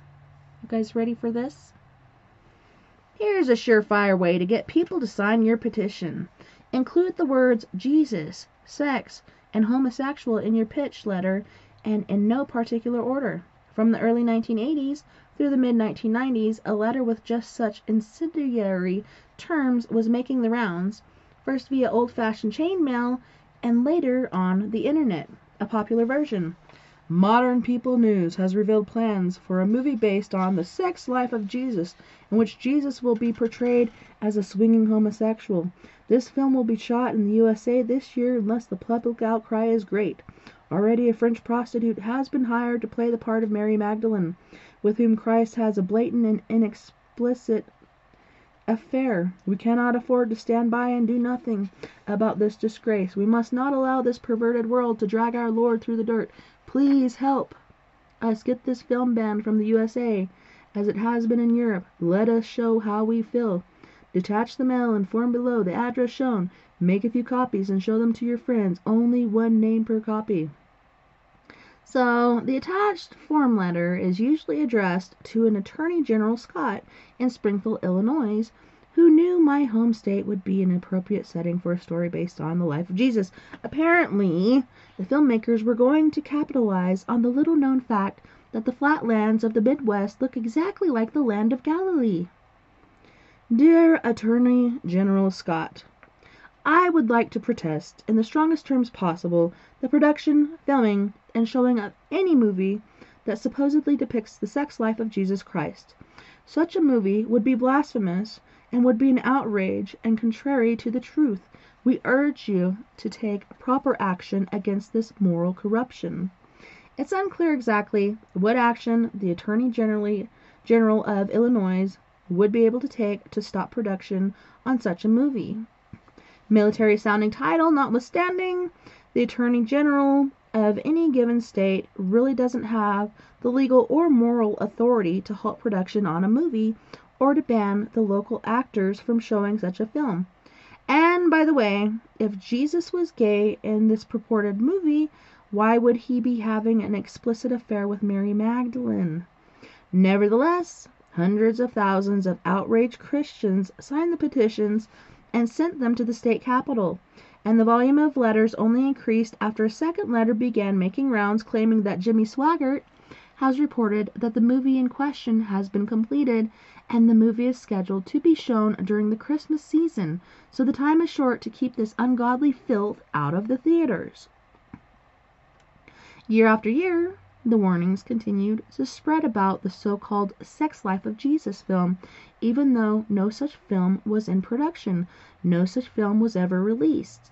You'd think some of the thousands of folks who signed these petitions would have wondered what happened to the movie. Apparently they forgot about their outrage, or they assumed that the signature drive had worked and had driven the demonic film right out of production. In the meantime, a whole new wave of well-meaning Christians would be signing the same petitions and sending them to the Illinois Attorney General's office, which was so exasperated that it turned out to be the ven- venerable Ann Landers for help, with a letter of its own. Note that the name of the magazine is changed slightly in this letter. Dear Ann, the office of the Attorney General of the State of Illinois respectfully requests your assistance in combating an international chain letter that is distressing thousands of Christians and those of other faiths as, as well. The chain letter is a plea to protest the making of a movie in which Jesus Christ could be depicted as a swinging homosexual. Both our office and the Associated Press have chased down every possible clue and cannot find a shred of truth in the story that such a film was ever in production.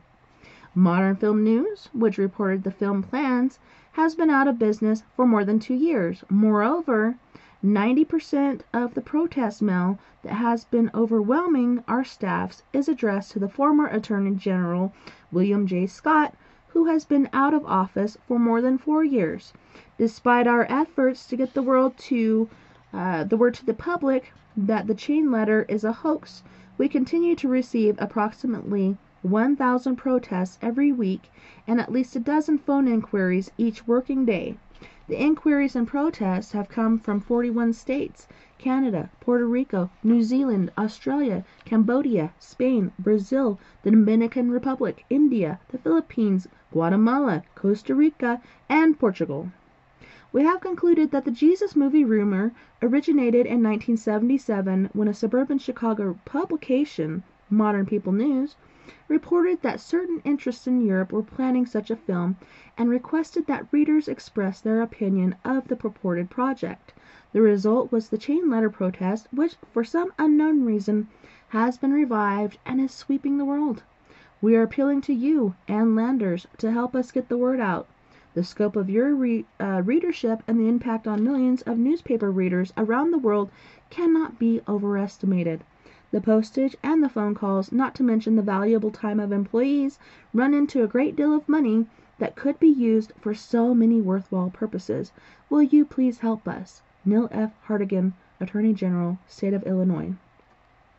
Landers dutifully printed the letter and urged her readers to ignore the petition, adding, Hoaxes die hard, and the zanier the hoax, the more difficult it is to convince people that it is not true. Good for her.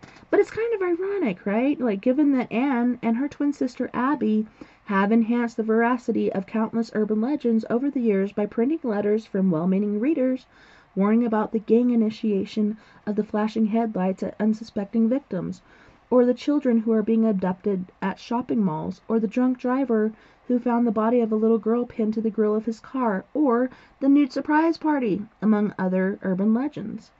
A decade and a half later, the Gay Jesus movie rumor picked up new steam, courtesy of the internet. In the fall of 2000, the following email was circulating. There is a movie coming out in 2001 saying that Jesus and his disciples were gay. There is already a play that went on for a while, but never stopped. Maybe we can all do something. Please send this to all your friends to sign to stop the movie from coming out. Already certain areas in Europe have started to ban it from coming to their country, and we can stop it too.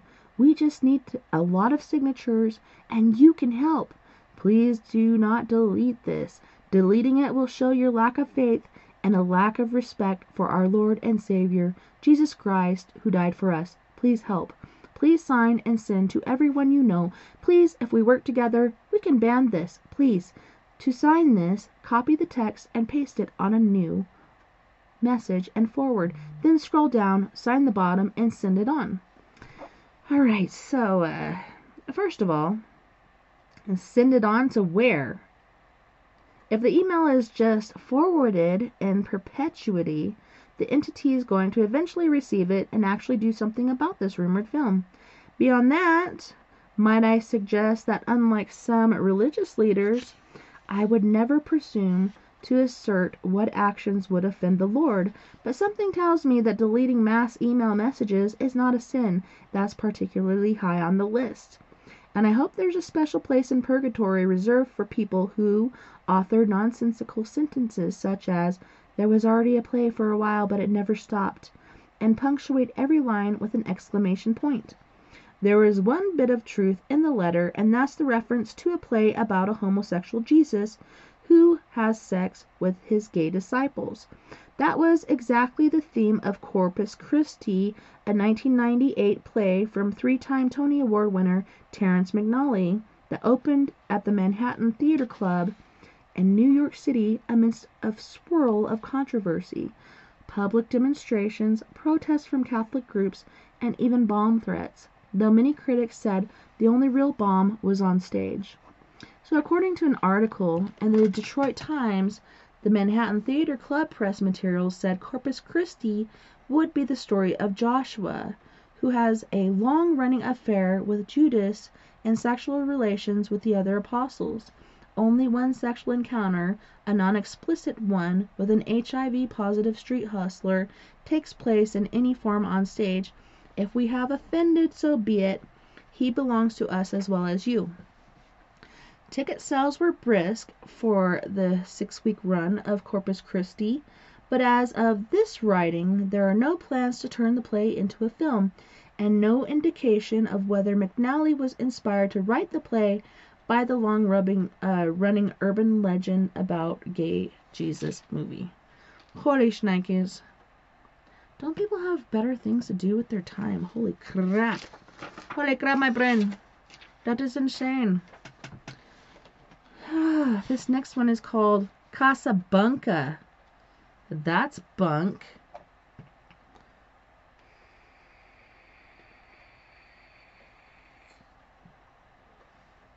Usually I would hit the thunder and lightning button, but what's the point?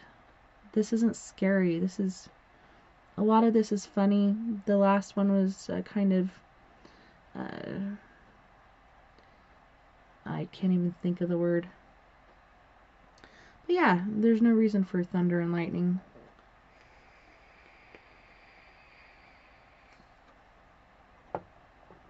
Casabunca. It's one of the open secrets of Hollywood. No matter how talented you are or how brightly your starlight is shining, from time to time you're going to have to accept a hand me down script that's already smudged with somebody else's fingerprints, unless you're at the very top of the A list. We're talking Tom Cruise, Julia Roberts, Tom Hanks, Jennifer Lopez, Mel Gibson, Jim Carrey. You're probably the second or third choice for a part. Much of this jockeying for position happens years before principal photography begins. Often the first choice loses interest in a project as the script develops or a new director is signed. Sometimes a scheduling conflict gets in the way. Occasionally, it's the filmmakers who come to the realization that they need to go in a different direction. These factors often work to the advantage of the stars and the movie loving public. Would Schindler's List have been a better film with Kevin Costner in the lead instead of Liam Neeson? Could even the great Marlon Brando have done a more magnificent job than Peter O'Toole in Lawrence of Arabia? And isn't Cher glad that Sally Field turned down Moonstruck? Aren't we all grateful that Sylvester Stallone said no to Coming Home and the role went to Jon Voight? Can you imagine Meryl Streep and Goldie Hawn as Thelma and Louise? Somehow that sounds like a totally different movie. And to this day, Richard Gere should be sending champagne to John Travolta, who turned down the leads in American Gigolo and An Officer and a Gentleman. Years ago, there was a crazy story making the rounds that Groucho Marx was the first choice to play Rhett Butler in Gone with the Wind. After being carelessly pestered about the casting for the movie, novelist Margaret Mitchell sarcastically told the New York Times the part of Rhett should just go to Groucho Marx, but she was kidding. Amazingly, some people took her seriously. Then, of course, there's Casablanca believed by many to be the most unforgettable romance the cinema has ever known. Who else but Humphrey Bogart and Ingrid Bergman could have played those parts? Well, Ronald Reagan and Ann Sheridan, according to the Hollywood leg- legend. How many times over the years have you heard that story, especially the part about Ronnie as Rick? From Molly Haskell of the New York Times in May of 1999. Think of Casablanca, then of Ronald Reagan and Ann Sheridan. Laughable? Nevertheless, they were the original team meant to play the well always have perished lovers, but Warner Brothers had to settle for Humphrey Bogart and Ingrid Bergman and Paul Henreid in the role originally intended for Dennis Morgan. The Independent of London, January 1996. When Wa- Ronald Reagan I want to say Ronald Reagan, and this is 2020. Uh, when Ronald Reagan turned down the part of Rick in Casablanca, he didn't realize that the ex presidents are a dime a dozen, but you can count the number of genuine movie icons, Humphrey Bogart, on one hand. Actually, there are probably more movie icons than ex presidents, but that's another quibble for another day. Bogey wasn't first choice to play Rick, stated the London Times in 1998. Those three examples are but a tiny sampling of the countless newspaper articles that have cited this anecdote as an established part of Hollywood history. The story has been uh, repeated in books and on talk shows, at dinner table conversations, and on the radio. Even the most casual fans of Casablanca can tell you that it was Ronald Reagan and not Humphrey Bogart who was originally slotted to play Rick. In his dreams, maybe. Before there was Casablanca, there was a play called Everybody Comes to Rick's, written by Murray Burnett and Joan Allison. The manuscript of that unproduced play was purchased for $20,000 in 1941 by producer Hal Wallis for Warner Brothers. An early casting talk centered on such names as George Raft as Rick and either Hedy Lamarr or Ann Sheridan as Ilsa. In early 1942, Wallis left Warner Brothers to form his own production company, with Casablanca being one of the projects under his umbrella. He signed a deal with Warner Brothers to produce several films for them as an independent contractor who would have creative control, including the casting decisions. So, how did the Reagan legend get started? So in 1942, approximately the same time Wallis was cutting his new deal with Warner Brothers, the Hollywood Reporter ran an item fed to them by the Warner Brothers publicist saying that Reagan, Ann Sheridan, and Dennis Morgan would star in Casablanca. The item didn't specify which role Reagan would play, but the decision wasn't up to the Warner Brothers. It was up to Wallis, and Wallis's first and only choices for the lead roles in Casablanca were Humphrey Bogart and Ingrid Bergman. To lease Bergman's services, Wallis had to cut a check for more than $100,000 to revive uh, rival producer David O. Selznick, who had her under contract. The Hollywood Reporter item was picked up by dozens of newspapers. Within days, however, Warner Brothers was backing away from its own press release with announcement that Reagan, Sheridan, and Morgan would be starring in another movie. Sheridan and Morgan, but not Reagan, did go on to co-star in the film Wings for the Eagle. Too late. The legend had been born. It doesn't matter that Wallis signed a series of memos in er- early 1942 indicating that Bogart was his first choice or that Reagan wouldn't have been available even if he had been cast as Rick due to his status in the Army Reserves and the fact that the studios knew he was almost certain to be called to active duty before Casablanca would start filming. When Reagan was president, he often blurred the line between movie life and reality, whether he was invoking Clint Eastwood's Make My Day in a challenge to Congress or relating an anecdote from a war movie as if it really happened. But while Reagan might never have gone out of his way to discourage the Casablanca legend, I was also unable to find one instant in the public record where he personally made the claim that he was first choice for the part. You know, some people's kids, it's it's hard to keep people out of the pantry. I think we got time for this one before we go to music break. Pretty sure. It's a pretty quick one, and then we'll go on to fact and fiction. The curse of the poltergeist. Beware, beware, beware.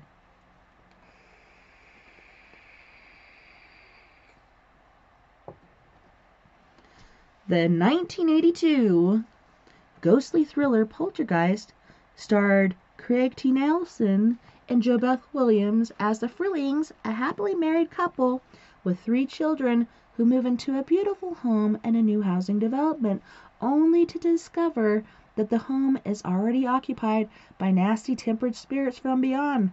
Turns out the housing development was plunked atop a burial ground.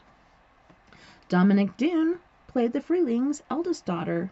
Oliver Robbins was the middle child, and five-year-old Heather O'Rourke was Carol Ann, the little girl who sees the ghost in her TV set and is literally sucked through the walls of the house by the angry apparitions.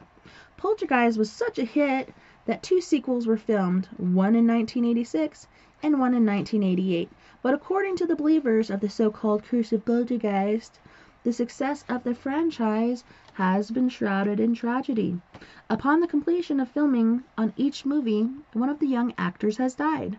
A macabre trilogy that started with the death of the oldest child and ended with the death of the little girl who said, They're here. Compounding this unspeakable tragedy, several other actors who appeared in one or more of the Poltergeist movies has also died, leaving no room for doubt that there really is a curse. Or so the story goes. Sadly, the truth provides plenty of ammunition for the superstitious and the silly who want to believe in things like curses. Oliver Robbins is alive and well, but the actresses who played his sisters are gone. Dominique Dunne, the 22-year-old daughter of writer Dominick Dunne, died on November 4, 1982 at Cedars-Sinai Medical Center in Los Angeles. Four days earlier, she had been attacked in her driveway of her home by former boyfriend John Sweeney, who choked Dunne so hard she fell into a coma from which she never emerged.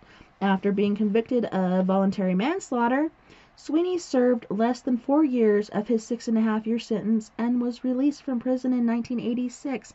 What the fuck is wrong with our fucking system, Jesus? That is insane. On January 31st, 1988, Heather O'Rourke, then 12, was experiencing flu-like symptoms. The next day she collapsed and was taken by helicopter to a hospital in San Diego, but she suffered cardiac arrest and died. It was later determined that Heather had died of septic shock as a result of a bowel obstruction. The strange and stunning cir- circumstances of Heather's death which occurred after filming but prior to the release of Poltergeist 3, spurred conspiracy theorists and fans of the occult to start talking about a curse. I've never heard a decent explanation of just who is leveling this curse. Ghosts who are unhappy with the way that they're portrayed in the movies, perhaps? Did the deaths of Dunne and O'Rourke and the fact that Poltergeist 2 supporting players Julian Beck and Will Sampson had died in the mid 1980s indicate that this was a pattern? Of course it wasn't. Beck, who played the spooky preacher who shows up at the Freeling's door in Poltergeist 2, died of stomach cancer in 1985 at the age of 60. Sampson, best known for his role as the chief in One Flew Over the Cuckoo's Nest, died in 1987, several weeks after receiving an emergency heart lung transplant. These men died at relatively young ages, but the circumstances of their deaths were not particularly unusual or inexplicable. Beck had been seriously ill for more than a year prior to his passing, and Sampson had undergone surgery as a last ditch effort to save his life. Nor is there anything supernatural or mysterious in regards to the deaths of Dunne or O'Rourke. In fact, it's an insult to attribute their deaths to anything other than the factual circumstances.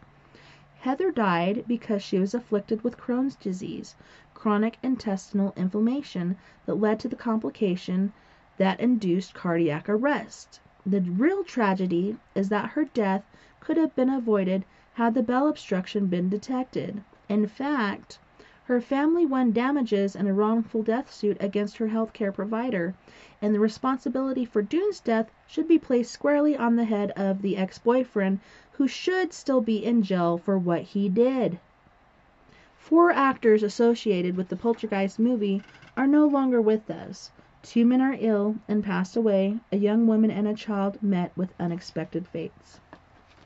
Very sad, and I've actually seen um, few videos about this on on the internet, i.e., YouTube, of people talking about this curse, and and a lot of crazy shit did happen to a lot of different cast members. Some of them being death, but a lot of them being like, uh, you know, PTSD and and sleep issues, etc., etc which is pretty common for a messed up movie like that. Uh, when we get back, we'll go on to the chapter of fact or fiction. See you guys uh, on this musical break. We have Mr. Brick Casey from Boston with Main Thing. We have Miss Mystique with Rampage, as well as Time for School. And we have Mocha Tea with My Life. You guys don't go anywhere. We'll be right back after this musical break. I like it when you pop it, drop it, swing. Now Nah, don't stop it, doing that thing. Go, go, girl, keep doing that thing. I just wanna make you my main thing. Keep going, baby, now don't you stop that. Oh. Vanilla chocolate flavored, you're the only one that I'm searching for. You the one for me and I can't complain. You sunshine anytime it rain. Not around then I might go insane. I just wanna make you my main thing. I like it when you pop that, drop that. Keep going, baby, now don't you stop that. Uh, honey, you're so sweet, I can't ignore. Thinking about you both more and more. Making it pop and drop and swing. I could be the king and you my queen. Yeah, you look good, but you I'm saying. I just wanna make you my main thing. I like it when you pop that, drop that. Keep going, baby, now don't you stop that. Who's them dudes in the back with the black on? True deep, don't sleep or slack on. Come to the money, honey, I'ma get a stack on. Excuse me, ma, can I get my Mac on? To the left, throw it to the right. Do it like you wanna do it to me all night.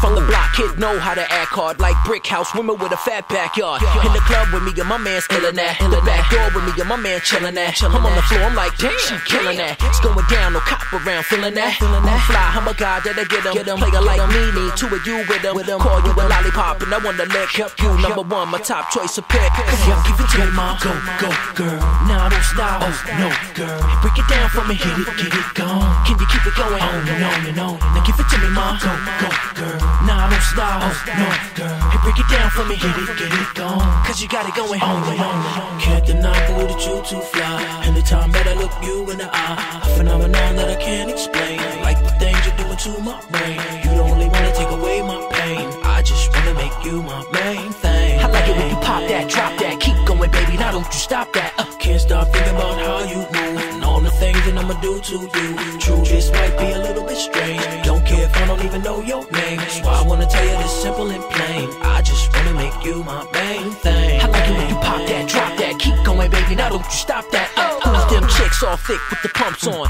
Lumps in the front, back with the bumps on. Not a cat hoping that he get his humps on. I'm way beyond with them other chumps on. Sweet enough to eat and he might bite you. Wanna make love to you, I don't wanna fight you. Nobody like you, not a one like you. When you come around, no telling what he might do. Right now in the club, who the dawn? Want a man that got it going on later on. I could tell by the dancing, you digging this song. You can tell I've been digging you all night long. And I love to be digging in you all night long. Party right here, hottie all night long. Let's flex it to the coat check, exit to the Lexus, Nexus, triple exit. Come on, give it to me, ma. Go, go, girl. Now don't stop. Oh, no, girl. Break it down for me, get it, get it gone. Can you keep it going? Oh, on and on and on. Now give it to me, ma. Go, go, girl. Now don't stop. Oh, no, girl. Hey, break it down for me, get it, get it gone. Cause you got it going on and on. I like it when you pop it, drop it, swing. Now don't stop it, doing that thing. Go, go, girl, keep doing that thing. I just wanna make you my main I like it when You pop it, drop it, swing. Now don't stop it, doing that thing. Go, go, girl, keep doing that thing. I just wanna make you my main. Vanilla chocolate flavor, you're the only one that I'm searching for. You the one for me and I can't complain. Sunshine anytime it rain. Not around then I might go insane. I just wanna make you my main thing. I like it when you pop that, drop that, keep going, baby. Now don't you stop that. Uh, honey, You're so sweet, I can't ignore. Thinking about you both more and more. Making it pop and drop and swing. I could be the canyon, you my queen. Yeah, they look good, but you I'm saying. I just wanna make you my main thing. I like it when you pop that, drop that, keep going, baby. Now don't you stop that. Uh, can't cannot believe that you too fly. Anytime that I look you in the eye, a phenomenon that I can't explain. Like the things you're doing to my brain. You the only to take away my pain. I just wanna make you my main thing. I like it when you pop that, drop that, keep going, baby. Now don't you stop that. Uh, can't stop thinking about how you move and all the things that I'ma do to you. True, this might be a little bit strange. Don't care if I don't even know your name. That's why I wanna tell you this simple and plain. I just wanna make you my main thing. I like it when you pop that, drop that, keep going, baby. Now don't you stop that. Uh,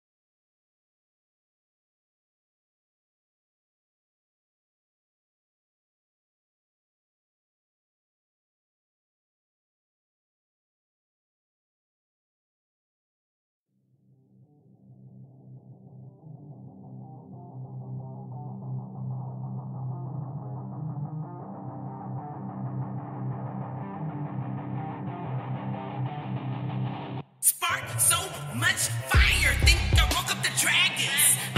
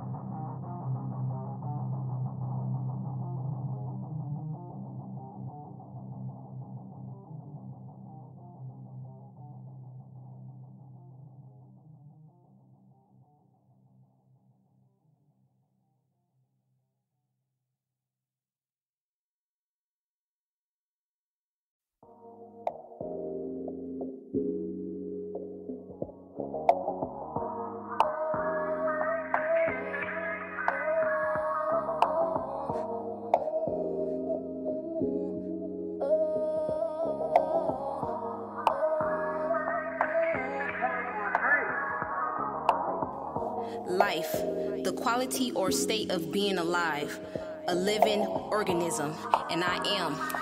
Mocha tea, let's get it. My life, the sugar honey iced tea. They wonder why I smile so gracefully, and wonder why I like blue when I'm lactose. Ten toes, ten fingers, nigga, ten hoes. Flow dope, whip it, microwave and stove was broke. Broke days, broke weeks, even broke months. A rich don't what have them going crazy. Lettuce and mac and cheese got them going crazy. Irregular, abnormal, and unusual. So unusual, I got shot for being beautiful. You can tell me love, you so gorgeous, but yet got a gun pointing to my forehead. Yo, head break bread, yeah, we gon' feast. Remember the cold, cold nights we had nothing to eat. Southern Belle raising hell area near you. I'm hungry and leaving no proof. My life, my life, my life. It ain't always sunshine in my life. A big puzzle, I'm trying to figure peace ain't right. They thought I wasn't gonna make it. I know they didn't. It's visual. Check your vision if you got the issue. A issue, a news feed if you got the memo. Breaking news, a new wave coming. Fuck a wave, hurricane, so mocha-licious. I really do this. It's in my blood. Pass it to my kids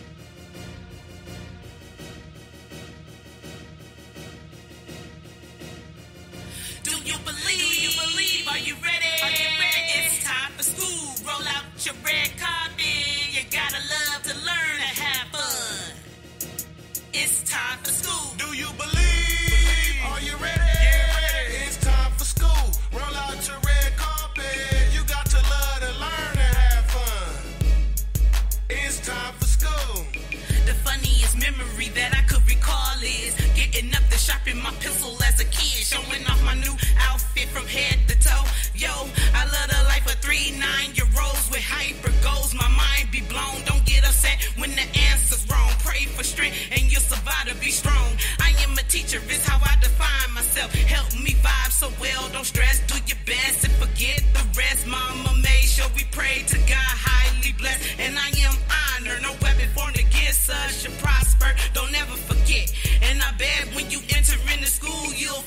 ultimate. No consequences of your accomplishments. Move away from the negativity, it got you bit. And if you're getting in the midst, just take the time and repent. Stay focused, get a pencil, write about the lesson. Raise your righteous hand, find the answer to question. Can be your main plan, leave a saucy impression. You are your own fan, you got this, is what I recommend. Do you believe? Do you believe? Are you ready? Are you ready? It's time for school. Roll out your red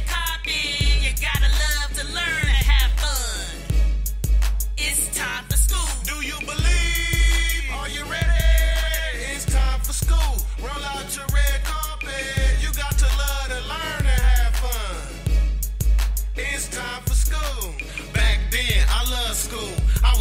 I was putting in my dues. I ain't wanna be no fool.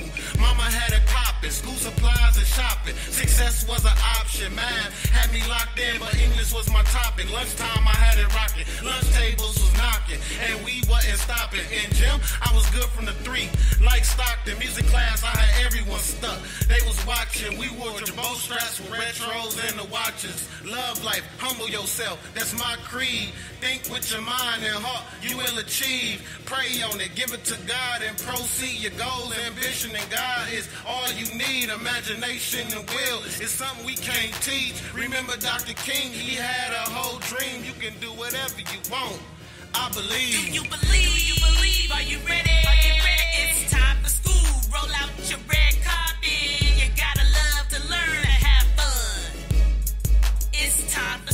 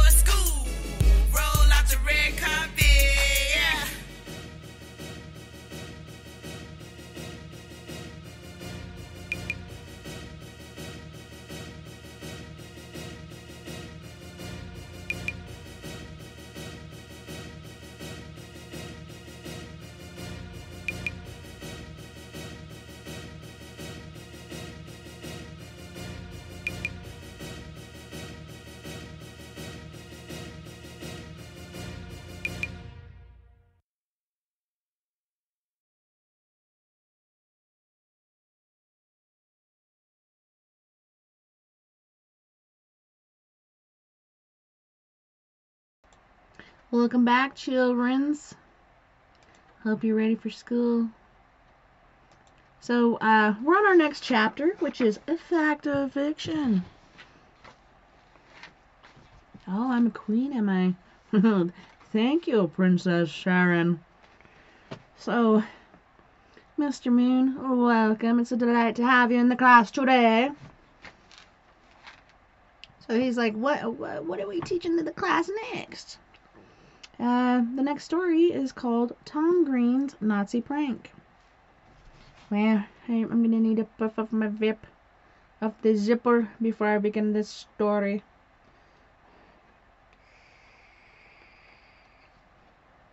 I just gotta tell you guys, I'm so ready for my sense of taste to be back. Like, I can taste all kinds of sweet things, but, you know, I just had some sushi rolls and it just tasted like nothing. Like, bleh, nothing.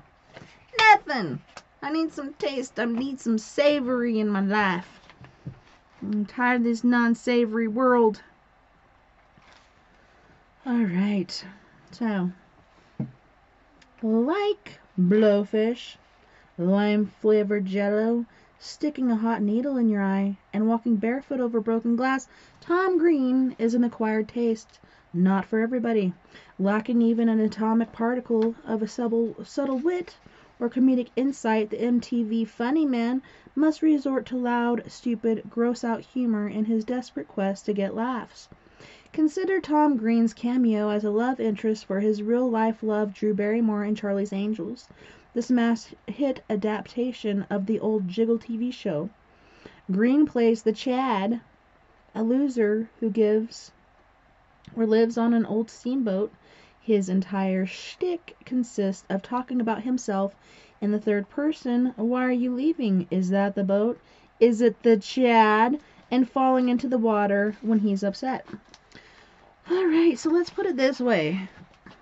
Bob Denver's interpretation of Gilligan was infinitely more nuanced, yet the Canadian born Green, who once earned the ire of many of his countrymen by burning the Canadian flag on TV, is worshipped by millions of teenagers who love his sloppy, weird sense of humor and his fearless quest for a laugh at anyone's expense, including his own. They think it's, uh, he's a genius. I think he's an idiot, but I have to give him credit for his insanely twisted, yet brave reaction to testicular cancer surgery in 2000. Tom Green turned the whole world into a TV special, and one of the most grotesquely fascinating television programs in the history of the medium. Green had a film crew follow every excruciatingly explicit detail of his ordeal, from his visits to the doctor to his relationships with friends and family to the surgery itself, which was graphic enough to make even a paramedic lose his appetite. We saw Green getting fitted for a burial suit just in case the operation went horribly wrong, and we were allowed to eavesdrop on the last supper he shared with Barrymore and his parents the night before the surgery. Hopefully I'm not going to die, Green tells the waitress. Do you want to see a wine list? she replies. The whole thing is so bizarre that when Green makes a joke about it being a hoax, you wonder is this an elaborately planned 21st century urban legend? But it isn't. To the tune of the theme song from St. Elmo's Fire, the surgeon starts cutting.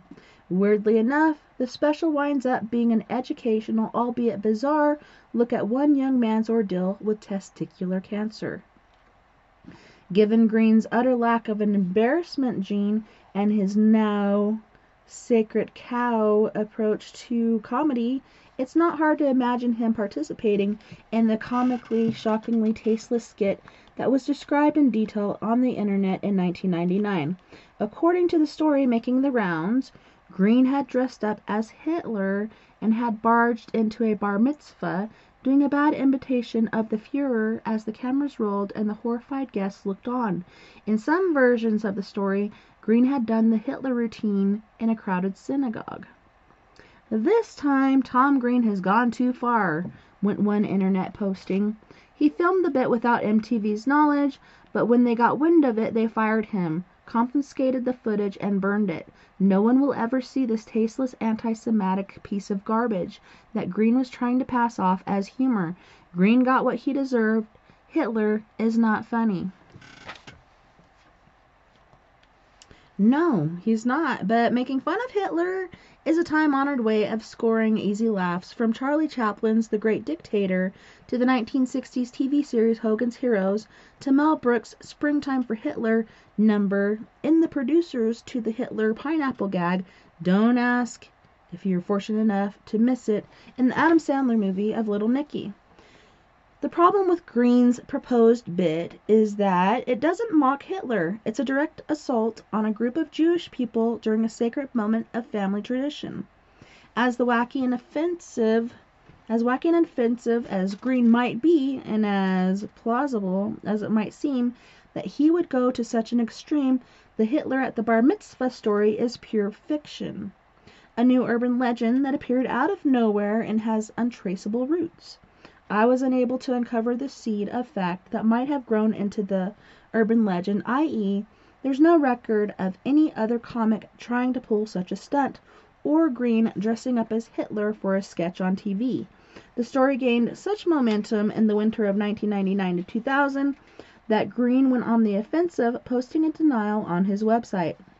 A message from Tom Green. Hey everybody, it's Tom. Listen. All of us at the show here have been reading the message board for the last couple of weeks and getting more and more distressed at the persistence, at the rate of the belief of the rumor that I did a joke where I dressed up as Adolf Hitler and did something at a synagogue or at a boy's bar mitzvah or whatever version of this you've heard. It is so important to me and to all of us here at the show for all of the fans to realize that this is a horrible, unfunny rumor and completely untrue. It may seem to a lot of people that I'm completely out of control and would do anything to piss people off. This is also untrue. One thing that's so important to me is that if you look No one on the show ever really gets hurt. They may get riled, but I try never to cross that line where damage could be done.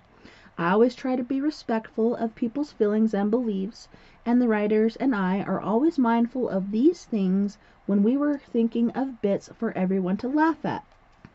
Obviously, the accompanying rumor that I've been fired from MTV because of this is also not true. We really hope this message puts this negative uh, rumor to rest. When you read this, I'd appreciate if you tell someone who cares. All right, peace, Tom. Green also issued denials in the print and broadcast media. It's ridiculous, he said on Entertainment Tonight on January 21st, 2000. We don't do that kind of thing. The Hitler story was also mentioned and debunked in feature stories on Green that appeared in the Los Angeles Times and Time magazine. Contrary to rumor, he did not dress as Hitler and attend a bar mitzvah, the Times story reported, although it is true that he humped a dead moose on camera. I mean, that's offensive, right? It's interesting that unlike most of these uh, celebrities and his celebrity ancestors who have prominently mentioned in urban legends, Green didn't just sit by and hope the rumors would die, nor did he buy into the theory that commenting on an urban legend only gives it extra life. He took a proactive role in the UL, using his website and the entertainment media to issue strong denials. Perhaps if Richard Gere had taken a similar approach instead of refusing comment, he would have been able to shake off that gerbil years ago. That pesky gerbil. Mother humper.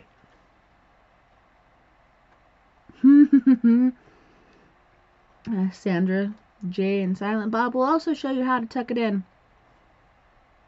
Mm, Rube doesn't lactate. Alright, so, interesting note. I was in the office, uh, audience at Saturday Night Live in the fall of 2000 when Green was the host and rumors were rampant that he would marry his real life love Drew Barrymore on the show. Indeed, Drew and a couple who were identified as Green's parents were there that night. Barrymore even joined Green on stage during his opening monologue and confirmed that they would be getting married at the end of the show, but it was just a gag. As the closing credits rolled, Barrymore was a no-show and the wedding set was struck, while a despondent Green wailed and writhed and cried. Subsequent uh, reports speculated that the wedding was really supposed to take place, but that Barrymore had backed out. But from my seat in the bleachers, it seemed obvious that the whole thing was a joke from the start. Oh, what a dilemma. Fact or fiction? Turns out that one's fiction. Who knew it? You betcha. Grab you some cheese and crackers, okay?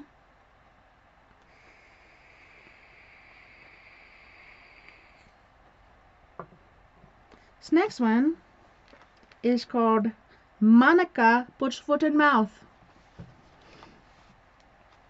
When the dust and God knows what else had settled from the Clinton Lewinsky affair, Monica, Monica told anyone who would listen that all she wanted to do was fade from the spotlight and regain her privacy.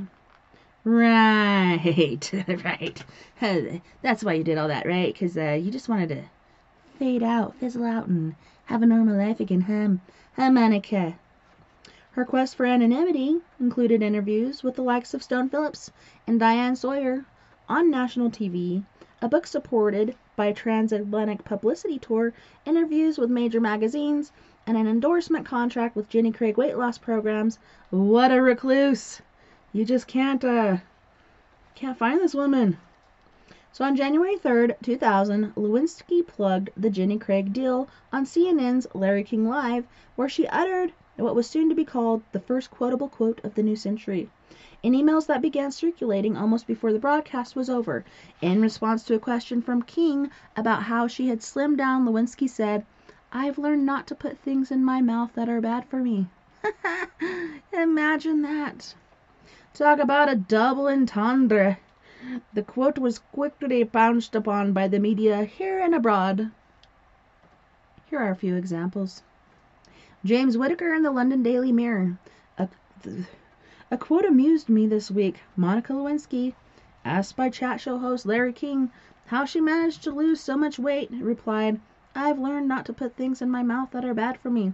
What a disappointment for America's young chaps. Rob in the Des Moines Register.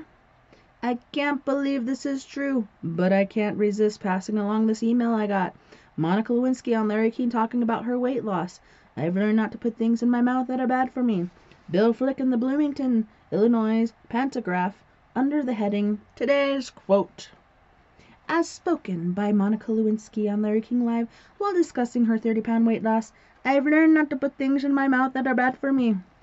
The People column of Portland's Oregonian, I've learned not to put things in my mouth that are bad for me. Monica Lewinsky. Pandora in the London, London Independent. The mood of Bill Clinton, said to be suffering from the loneliness in the dog days of his reign, will not have been lifted by the news that an old source of succor has most definitely dried up.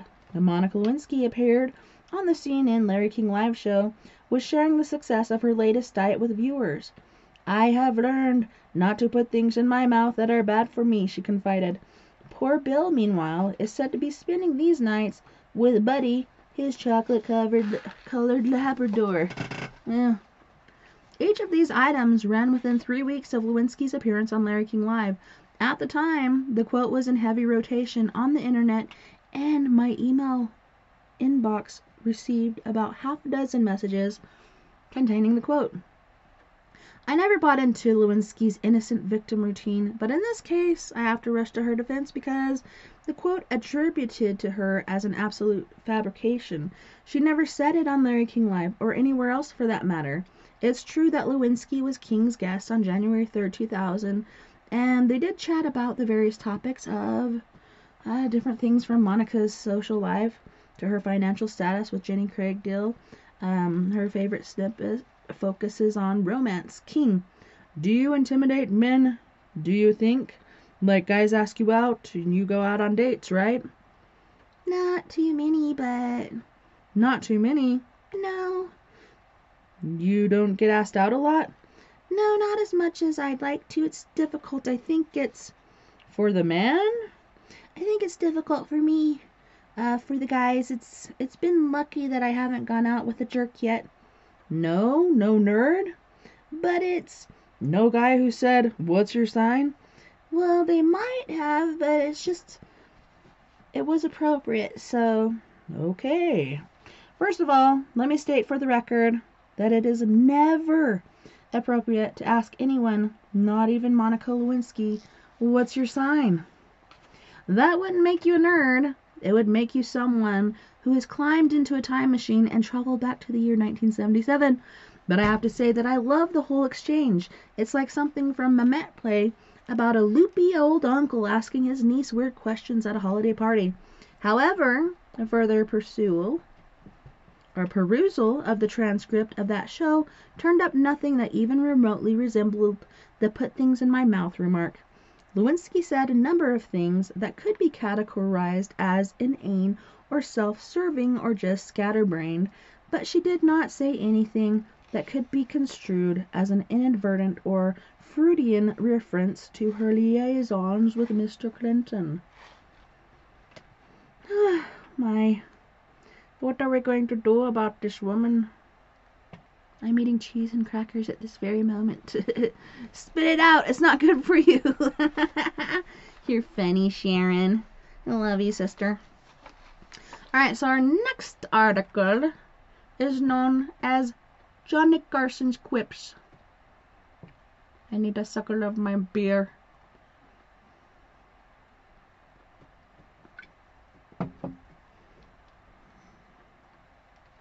And hit off my vape. God forbid.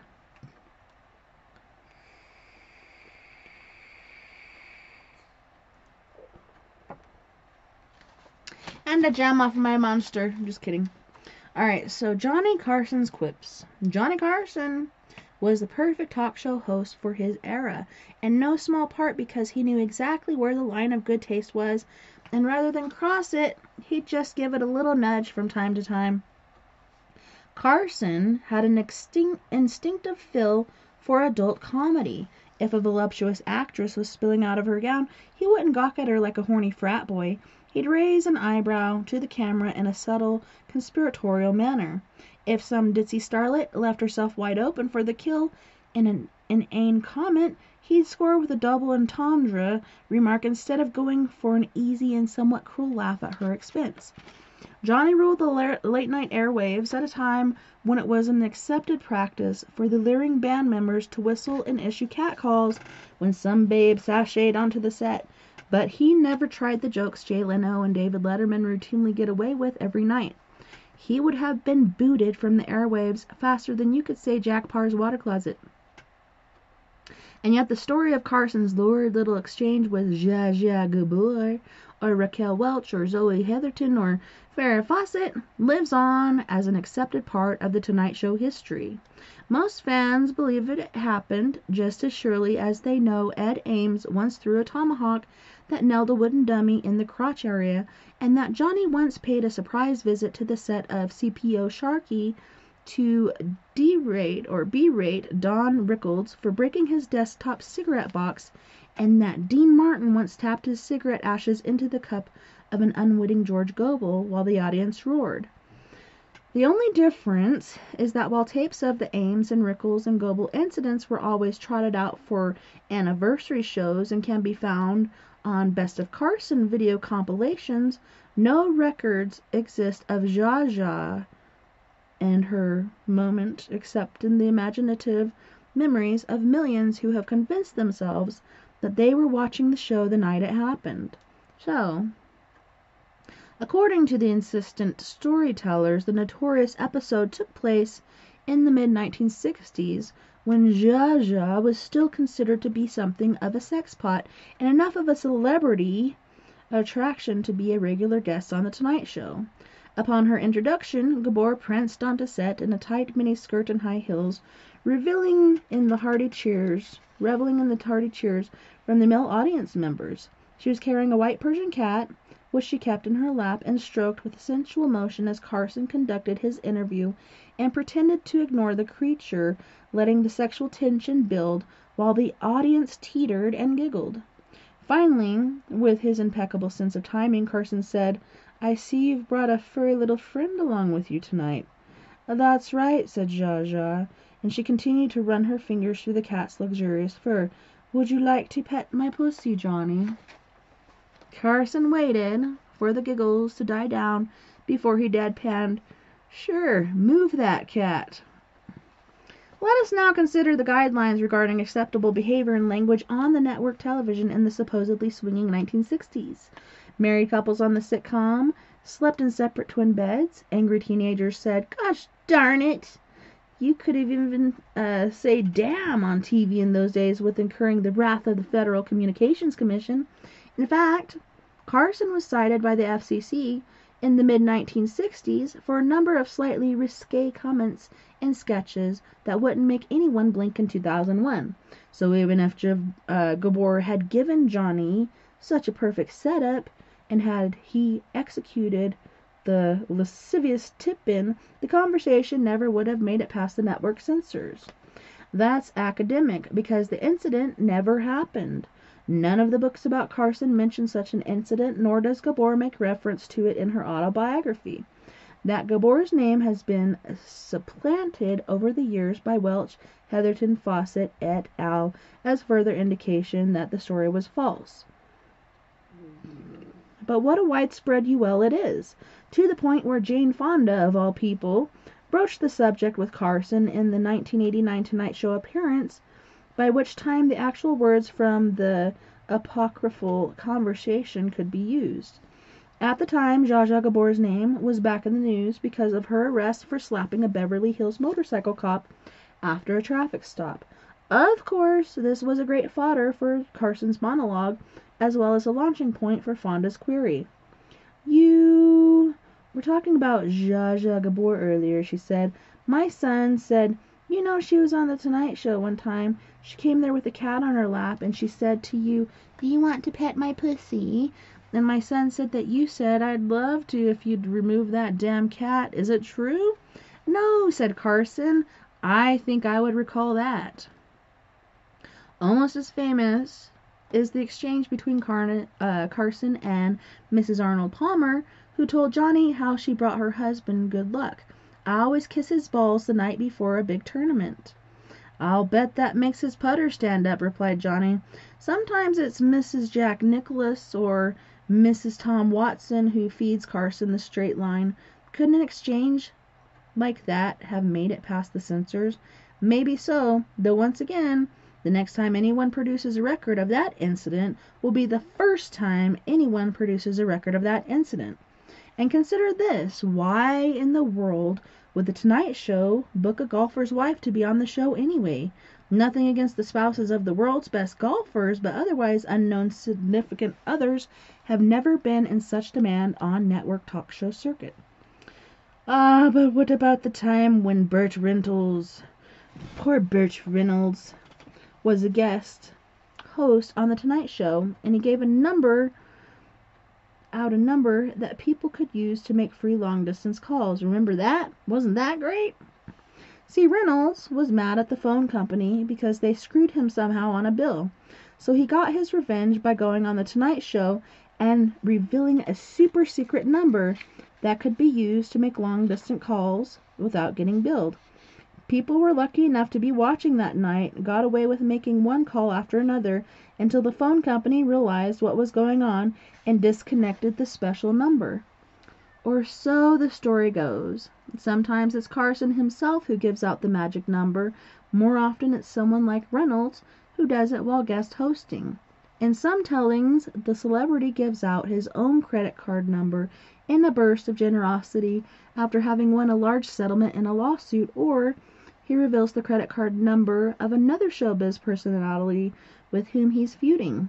This version of the urban legend resurfaced in the early 1990s with Arsenio Hall giving out Eddie Murphy's Visa card number to fans after he and Murphy supposedly had a falling out over a woman.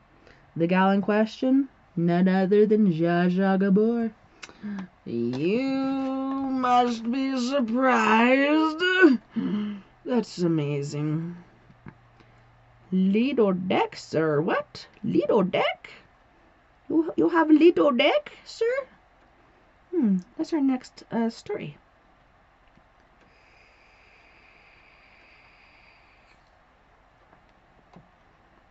It's one of the most famous stories on Capitol Hill, still repeated to this day, even though former actor Fred Grandy hasn't been a congressman since 1994.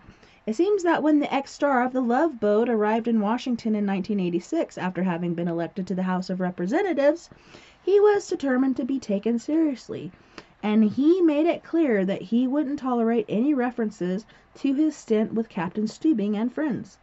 Unfortunately, the congressional page wasn't aware of this policy, and one day when the freshman Iowa uh, congressman stepped into a crowded elevator, the page cracked. Lido Dexter? Everyone laughed except Grandy, that is, who turned crimson red and had the page fired. Or so the story goes. This urban legend is dogged Grandy for 15 years, but in a way he has only himself to blame.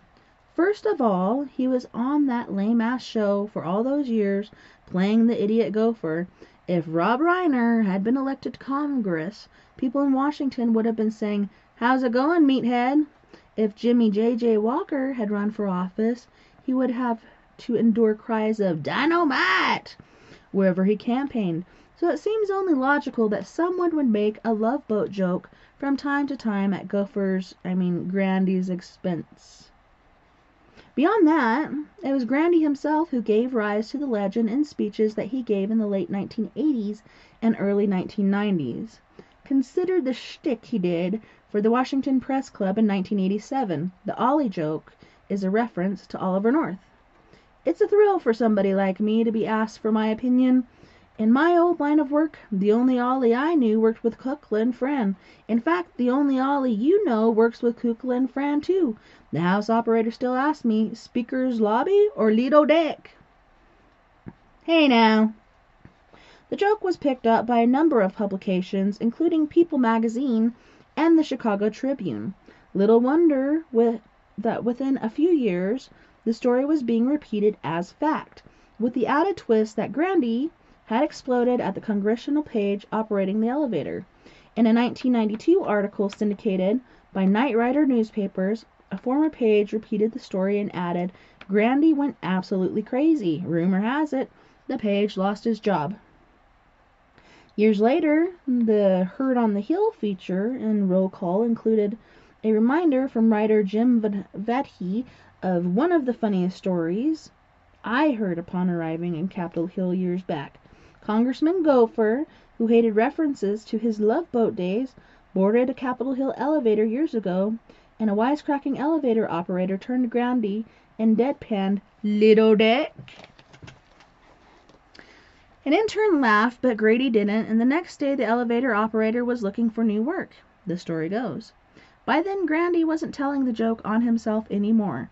In a June 2000 interview with the Seattle Times, he said, There was a story that haunted me when I first got elected, that once I got on the member's elevator to go up on a vote, and there was a page on the elevator, and he asked me if I was going to get off at the Lido deck. And the apocryphal story is that I had him summarily fired and sent back to the Muskogee or whatever. First of all, I couldn't have done that even if I'd wanted to. Two, it wasn't true.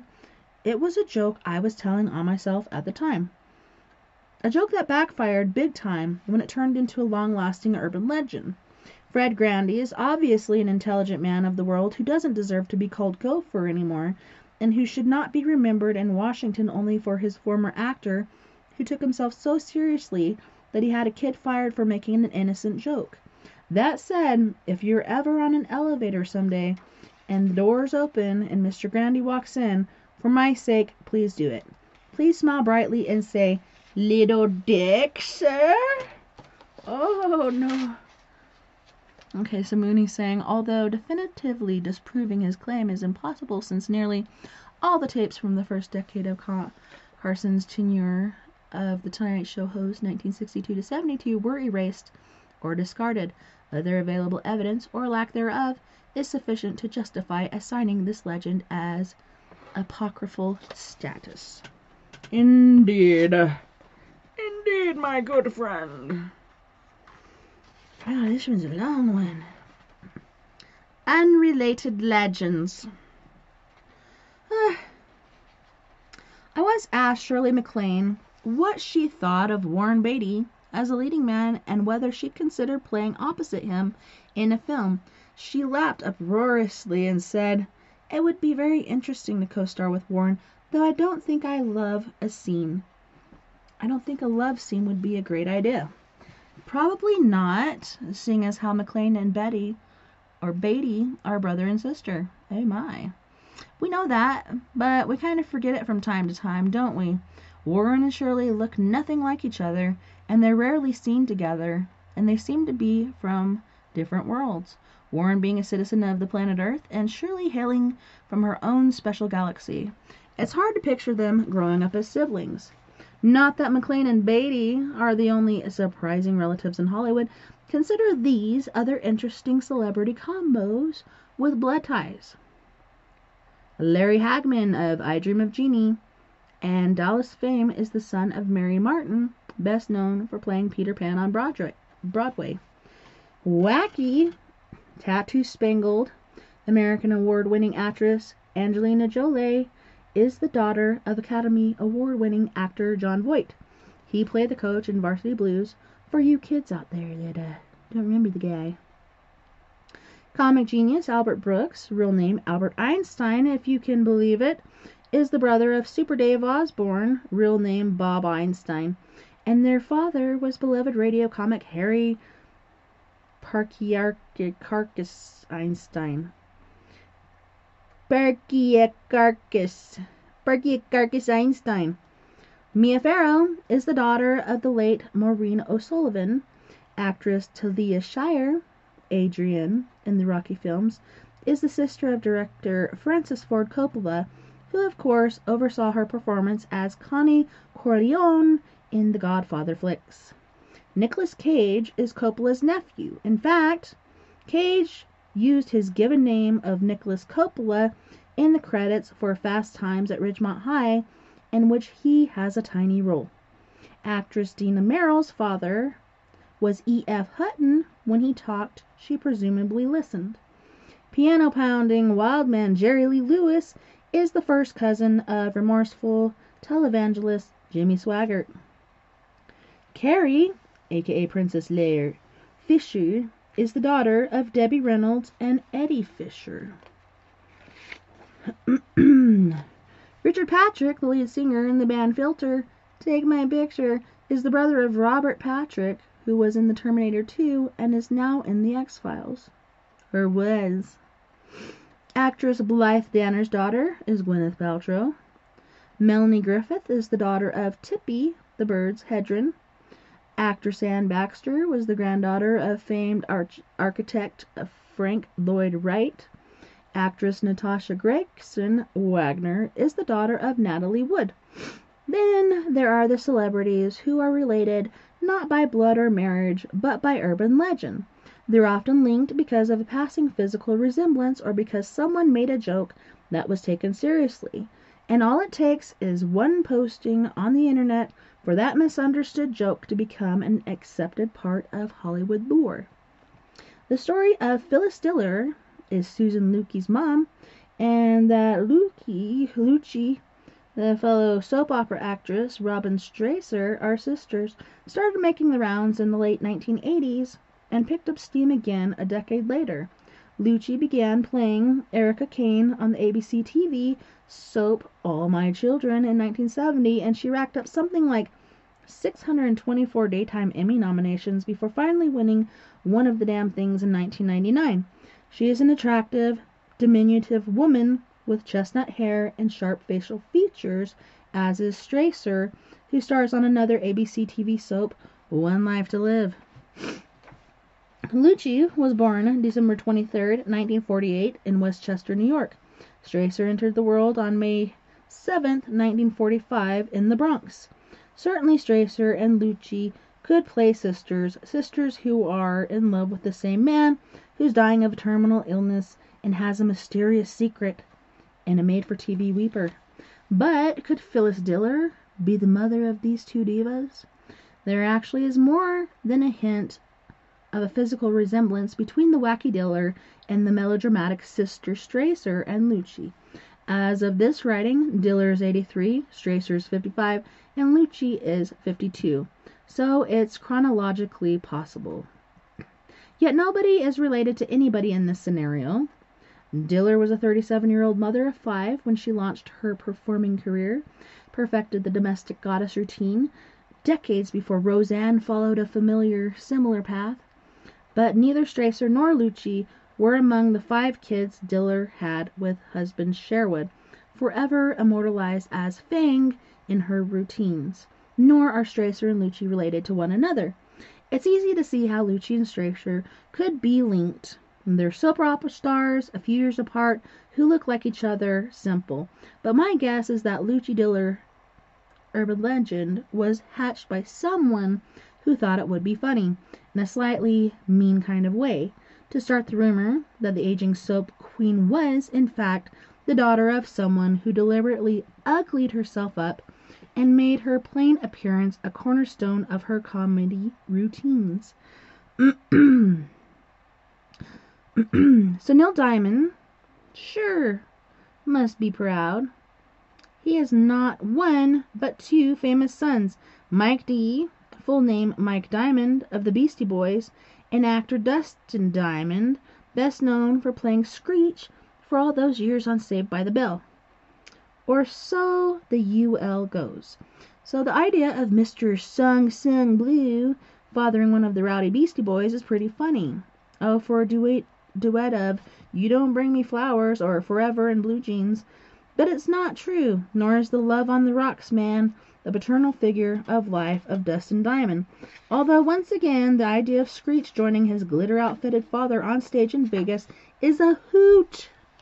Hoot. Incidentally, Neil Diamond's name is Neil Diamond. Some biographies list Diamond's birth name as Noah Kaminsky, but the singer was born with the name of Neil Leslie Diamond in Brooklyn, New York on January 24, 1941. His birth records and high school yearbooks confirm that he has always gone by the name of Neil Diamond. The Noah Kaminsky story was the inadvertent creation of Diamond himself, who told the New York Times that Barbara Walters, in interviews several years apart, that he had seriously considered changing his name to that moniker. Diamond has also said he thought about going with the stage name of Ice Cherry or Ice Cherry, which is spelled E I C E, Cherry. For the record, Neil Diamond sang Cherry Cherry, but he was never named Ice Cherry or Noah Kaminsky. He has four children, including two sons, but their names are Jesse and Micah, and neither one has ever been a Beastie Boy or anyone or an annoying actor on a campy, corny TV show.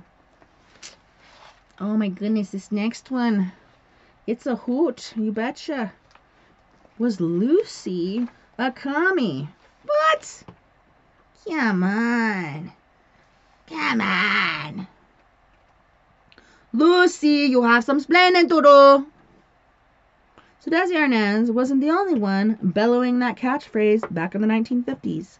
The FBI and the dreaded House Un-American Activities Committee, HUAC, essentially were saying the same thing to the flame-haired comedian Lucille Ball in 1953 as they asked the musical question, Are Lucy's politics a deeper shade of red than her hair? Don't laugh. Well, go ahead and laugh. But let's not forget that in the early 1950s, the likes of J. Edgar Hoover and Senator, Senator uh, Joseph McCarthy and his witch hunting henchmen rocked loyalties and destroyed lives by casting a wide ranging net of suspicion over any actor, writer, producer, or director who had displayed even the slightest inclination towards communist activities. You didn't have to be a card carrying member of the party to attract the government's scent. All it took was the scent of the communist ties. If you had once attended a meeting or two out of curiosity, or if you were associated with someone who was a known commie, you, too, could be painted and tainted red. That taint right. I Love Lucy premiered on CBS on October 15, 1951, with an episode that had the not exactly cryptic title The Girls Want to Go to a Nightclub. It was the Mertz's 18th anniversary. Fred and Ricky wanted to go to the fights. Ethel and Lucy wanted to party the night away at the Copacabana. Hilarity ensued. By May of that following year, I Love Lucy was far and away the most popular series on TV, with an estimated 11 million homes tuning in every Monday night. An astounding figure when you consider that there were only 15 million television sets in the entire country at the time. Not only was I Love Lucy a huge hit, it was a groundbreaking show on many levels from the technique of multiple camera filming in front of a live studio audience to the controversial showcasing of Lucy's pregnancy to television's first rerun, the broadcast and rebroadcast of an episode titled The Diet in 1952. But in 1953, there was a black cloud hovering over all this fantastic success, as whispered rumors about Lucy's communist affiliation had escalated into a full-fledged controversy. Ball had reportedly re- uh, registered to vote in 1936 when she was 24 and had listed her political affiliation as the Communist Party. Private citizens were writing letters to the FBI asking about the rumors of Lucy and or Desi being card-carrying members of the Communist Party. Tipped off about these stories, the National Heart Association reneged on its plans to name Lucy and Desi as Mr. and Mrs. Hart in 1953. In the meantime, the FBI was compiling an extensive file on Ball. The 142-page file, with some entries and passages blacked out, is available under the Freedom of Information Act. The transcripts and excerpts quoted hereafter are contained in that file. Selected passages from the FBI report. Records of the Register for Voters of Los Angeles County, Los Angeles, California, reflected that name deleted, and Lucille Ball, 3 1334 North Ogden Drive, Los Angeles, California, registered to vote as communists in March 19, 1936. Rita N. Vale, a Hollywood writer and admitted former Communist Party member in Los Angeles, California, furnished a sworn deposition on July 22, 1940, stating that in 1937 uh, that she attended a Communist Party new members class at the home of actress Lucille Ball.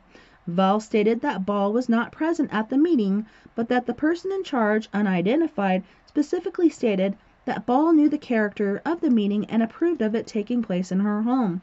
The Daily Worker issue of April 10, 1951, contained an article captioned Where are the big stars who once opposed the un-American? Among those Hollywood personalities named as previously being opposed to the HUAC was Lucille Ball. Lucille Ball signed a certificate as a sponsor for Emil Freed, a Communist Party candidate for Assembly, 57th District in 1936, that Lucille Ball was appointed to the State Central Committee of the Communist Party of California in 1936. Holy shnikes, time almost ran out on me. Well, thank you guys so much uh, for joining me this evening on We Are Paradox Media's Late Night in the Rockies. It's awesome to be alive and breathing and hanging out with you wonderful kids tonight. I really did miss you guys. Sorry about the replays, but uh, I didn't want you to be stuck with dead air and uh, really couldn't couldn't get myself to climb out of my warm comfy spot in bed. But it was awesome hanging out with you guys. I'm so glad you were here. Thank you so much for joining me on We Are Paradox Media Late Night in the Rockies. Thank you to all my friends on We Are Paradox Media's Facebook, KPNL Radio, Twitter, iHeartRadio, and wherever else you may be listening beyond the Omniverse tonight. I had a wonderful time, and I can't wait to do it again. Uh, next weekend, we have Psychic Chris Garcia. He's going to be on Saturday night. And then on Sunday, we have our favorite author back on, Mr. Stephen B. Ubaney, and we'll be talking about Who Killed FBI. It's going to be epic. You guys don't forget. We're all in this together. Together we can make the world a little better. And together, my friends, we are Paradox Media because without you, there is no us. Until next time, nighty night, love and life.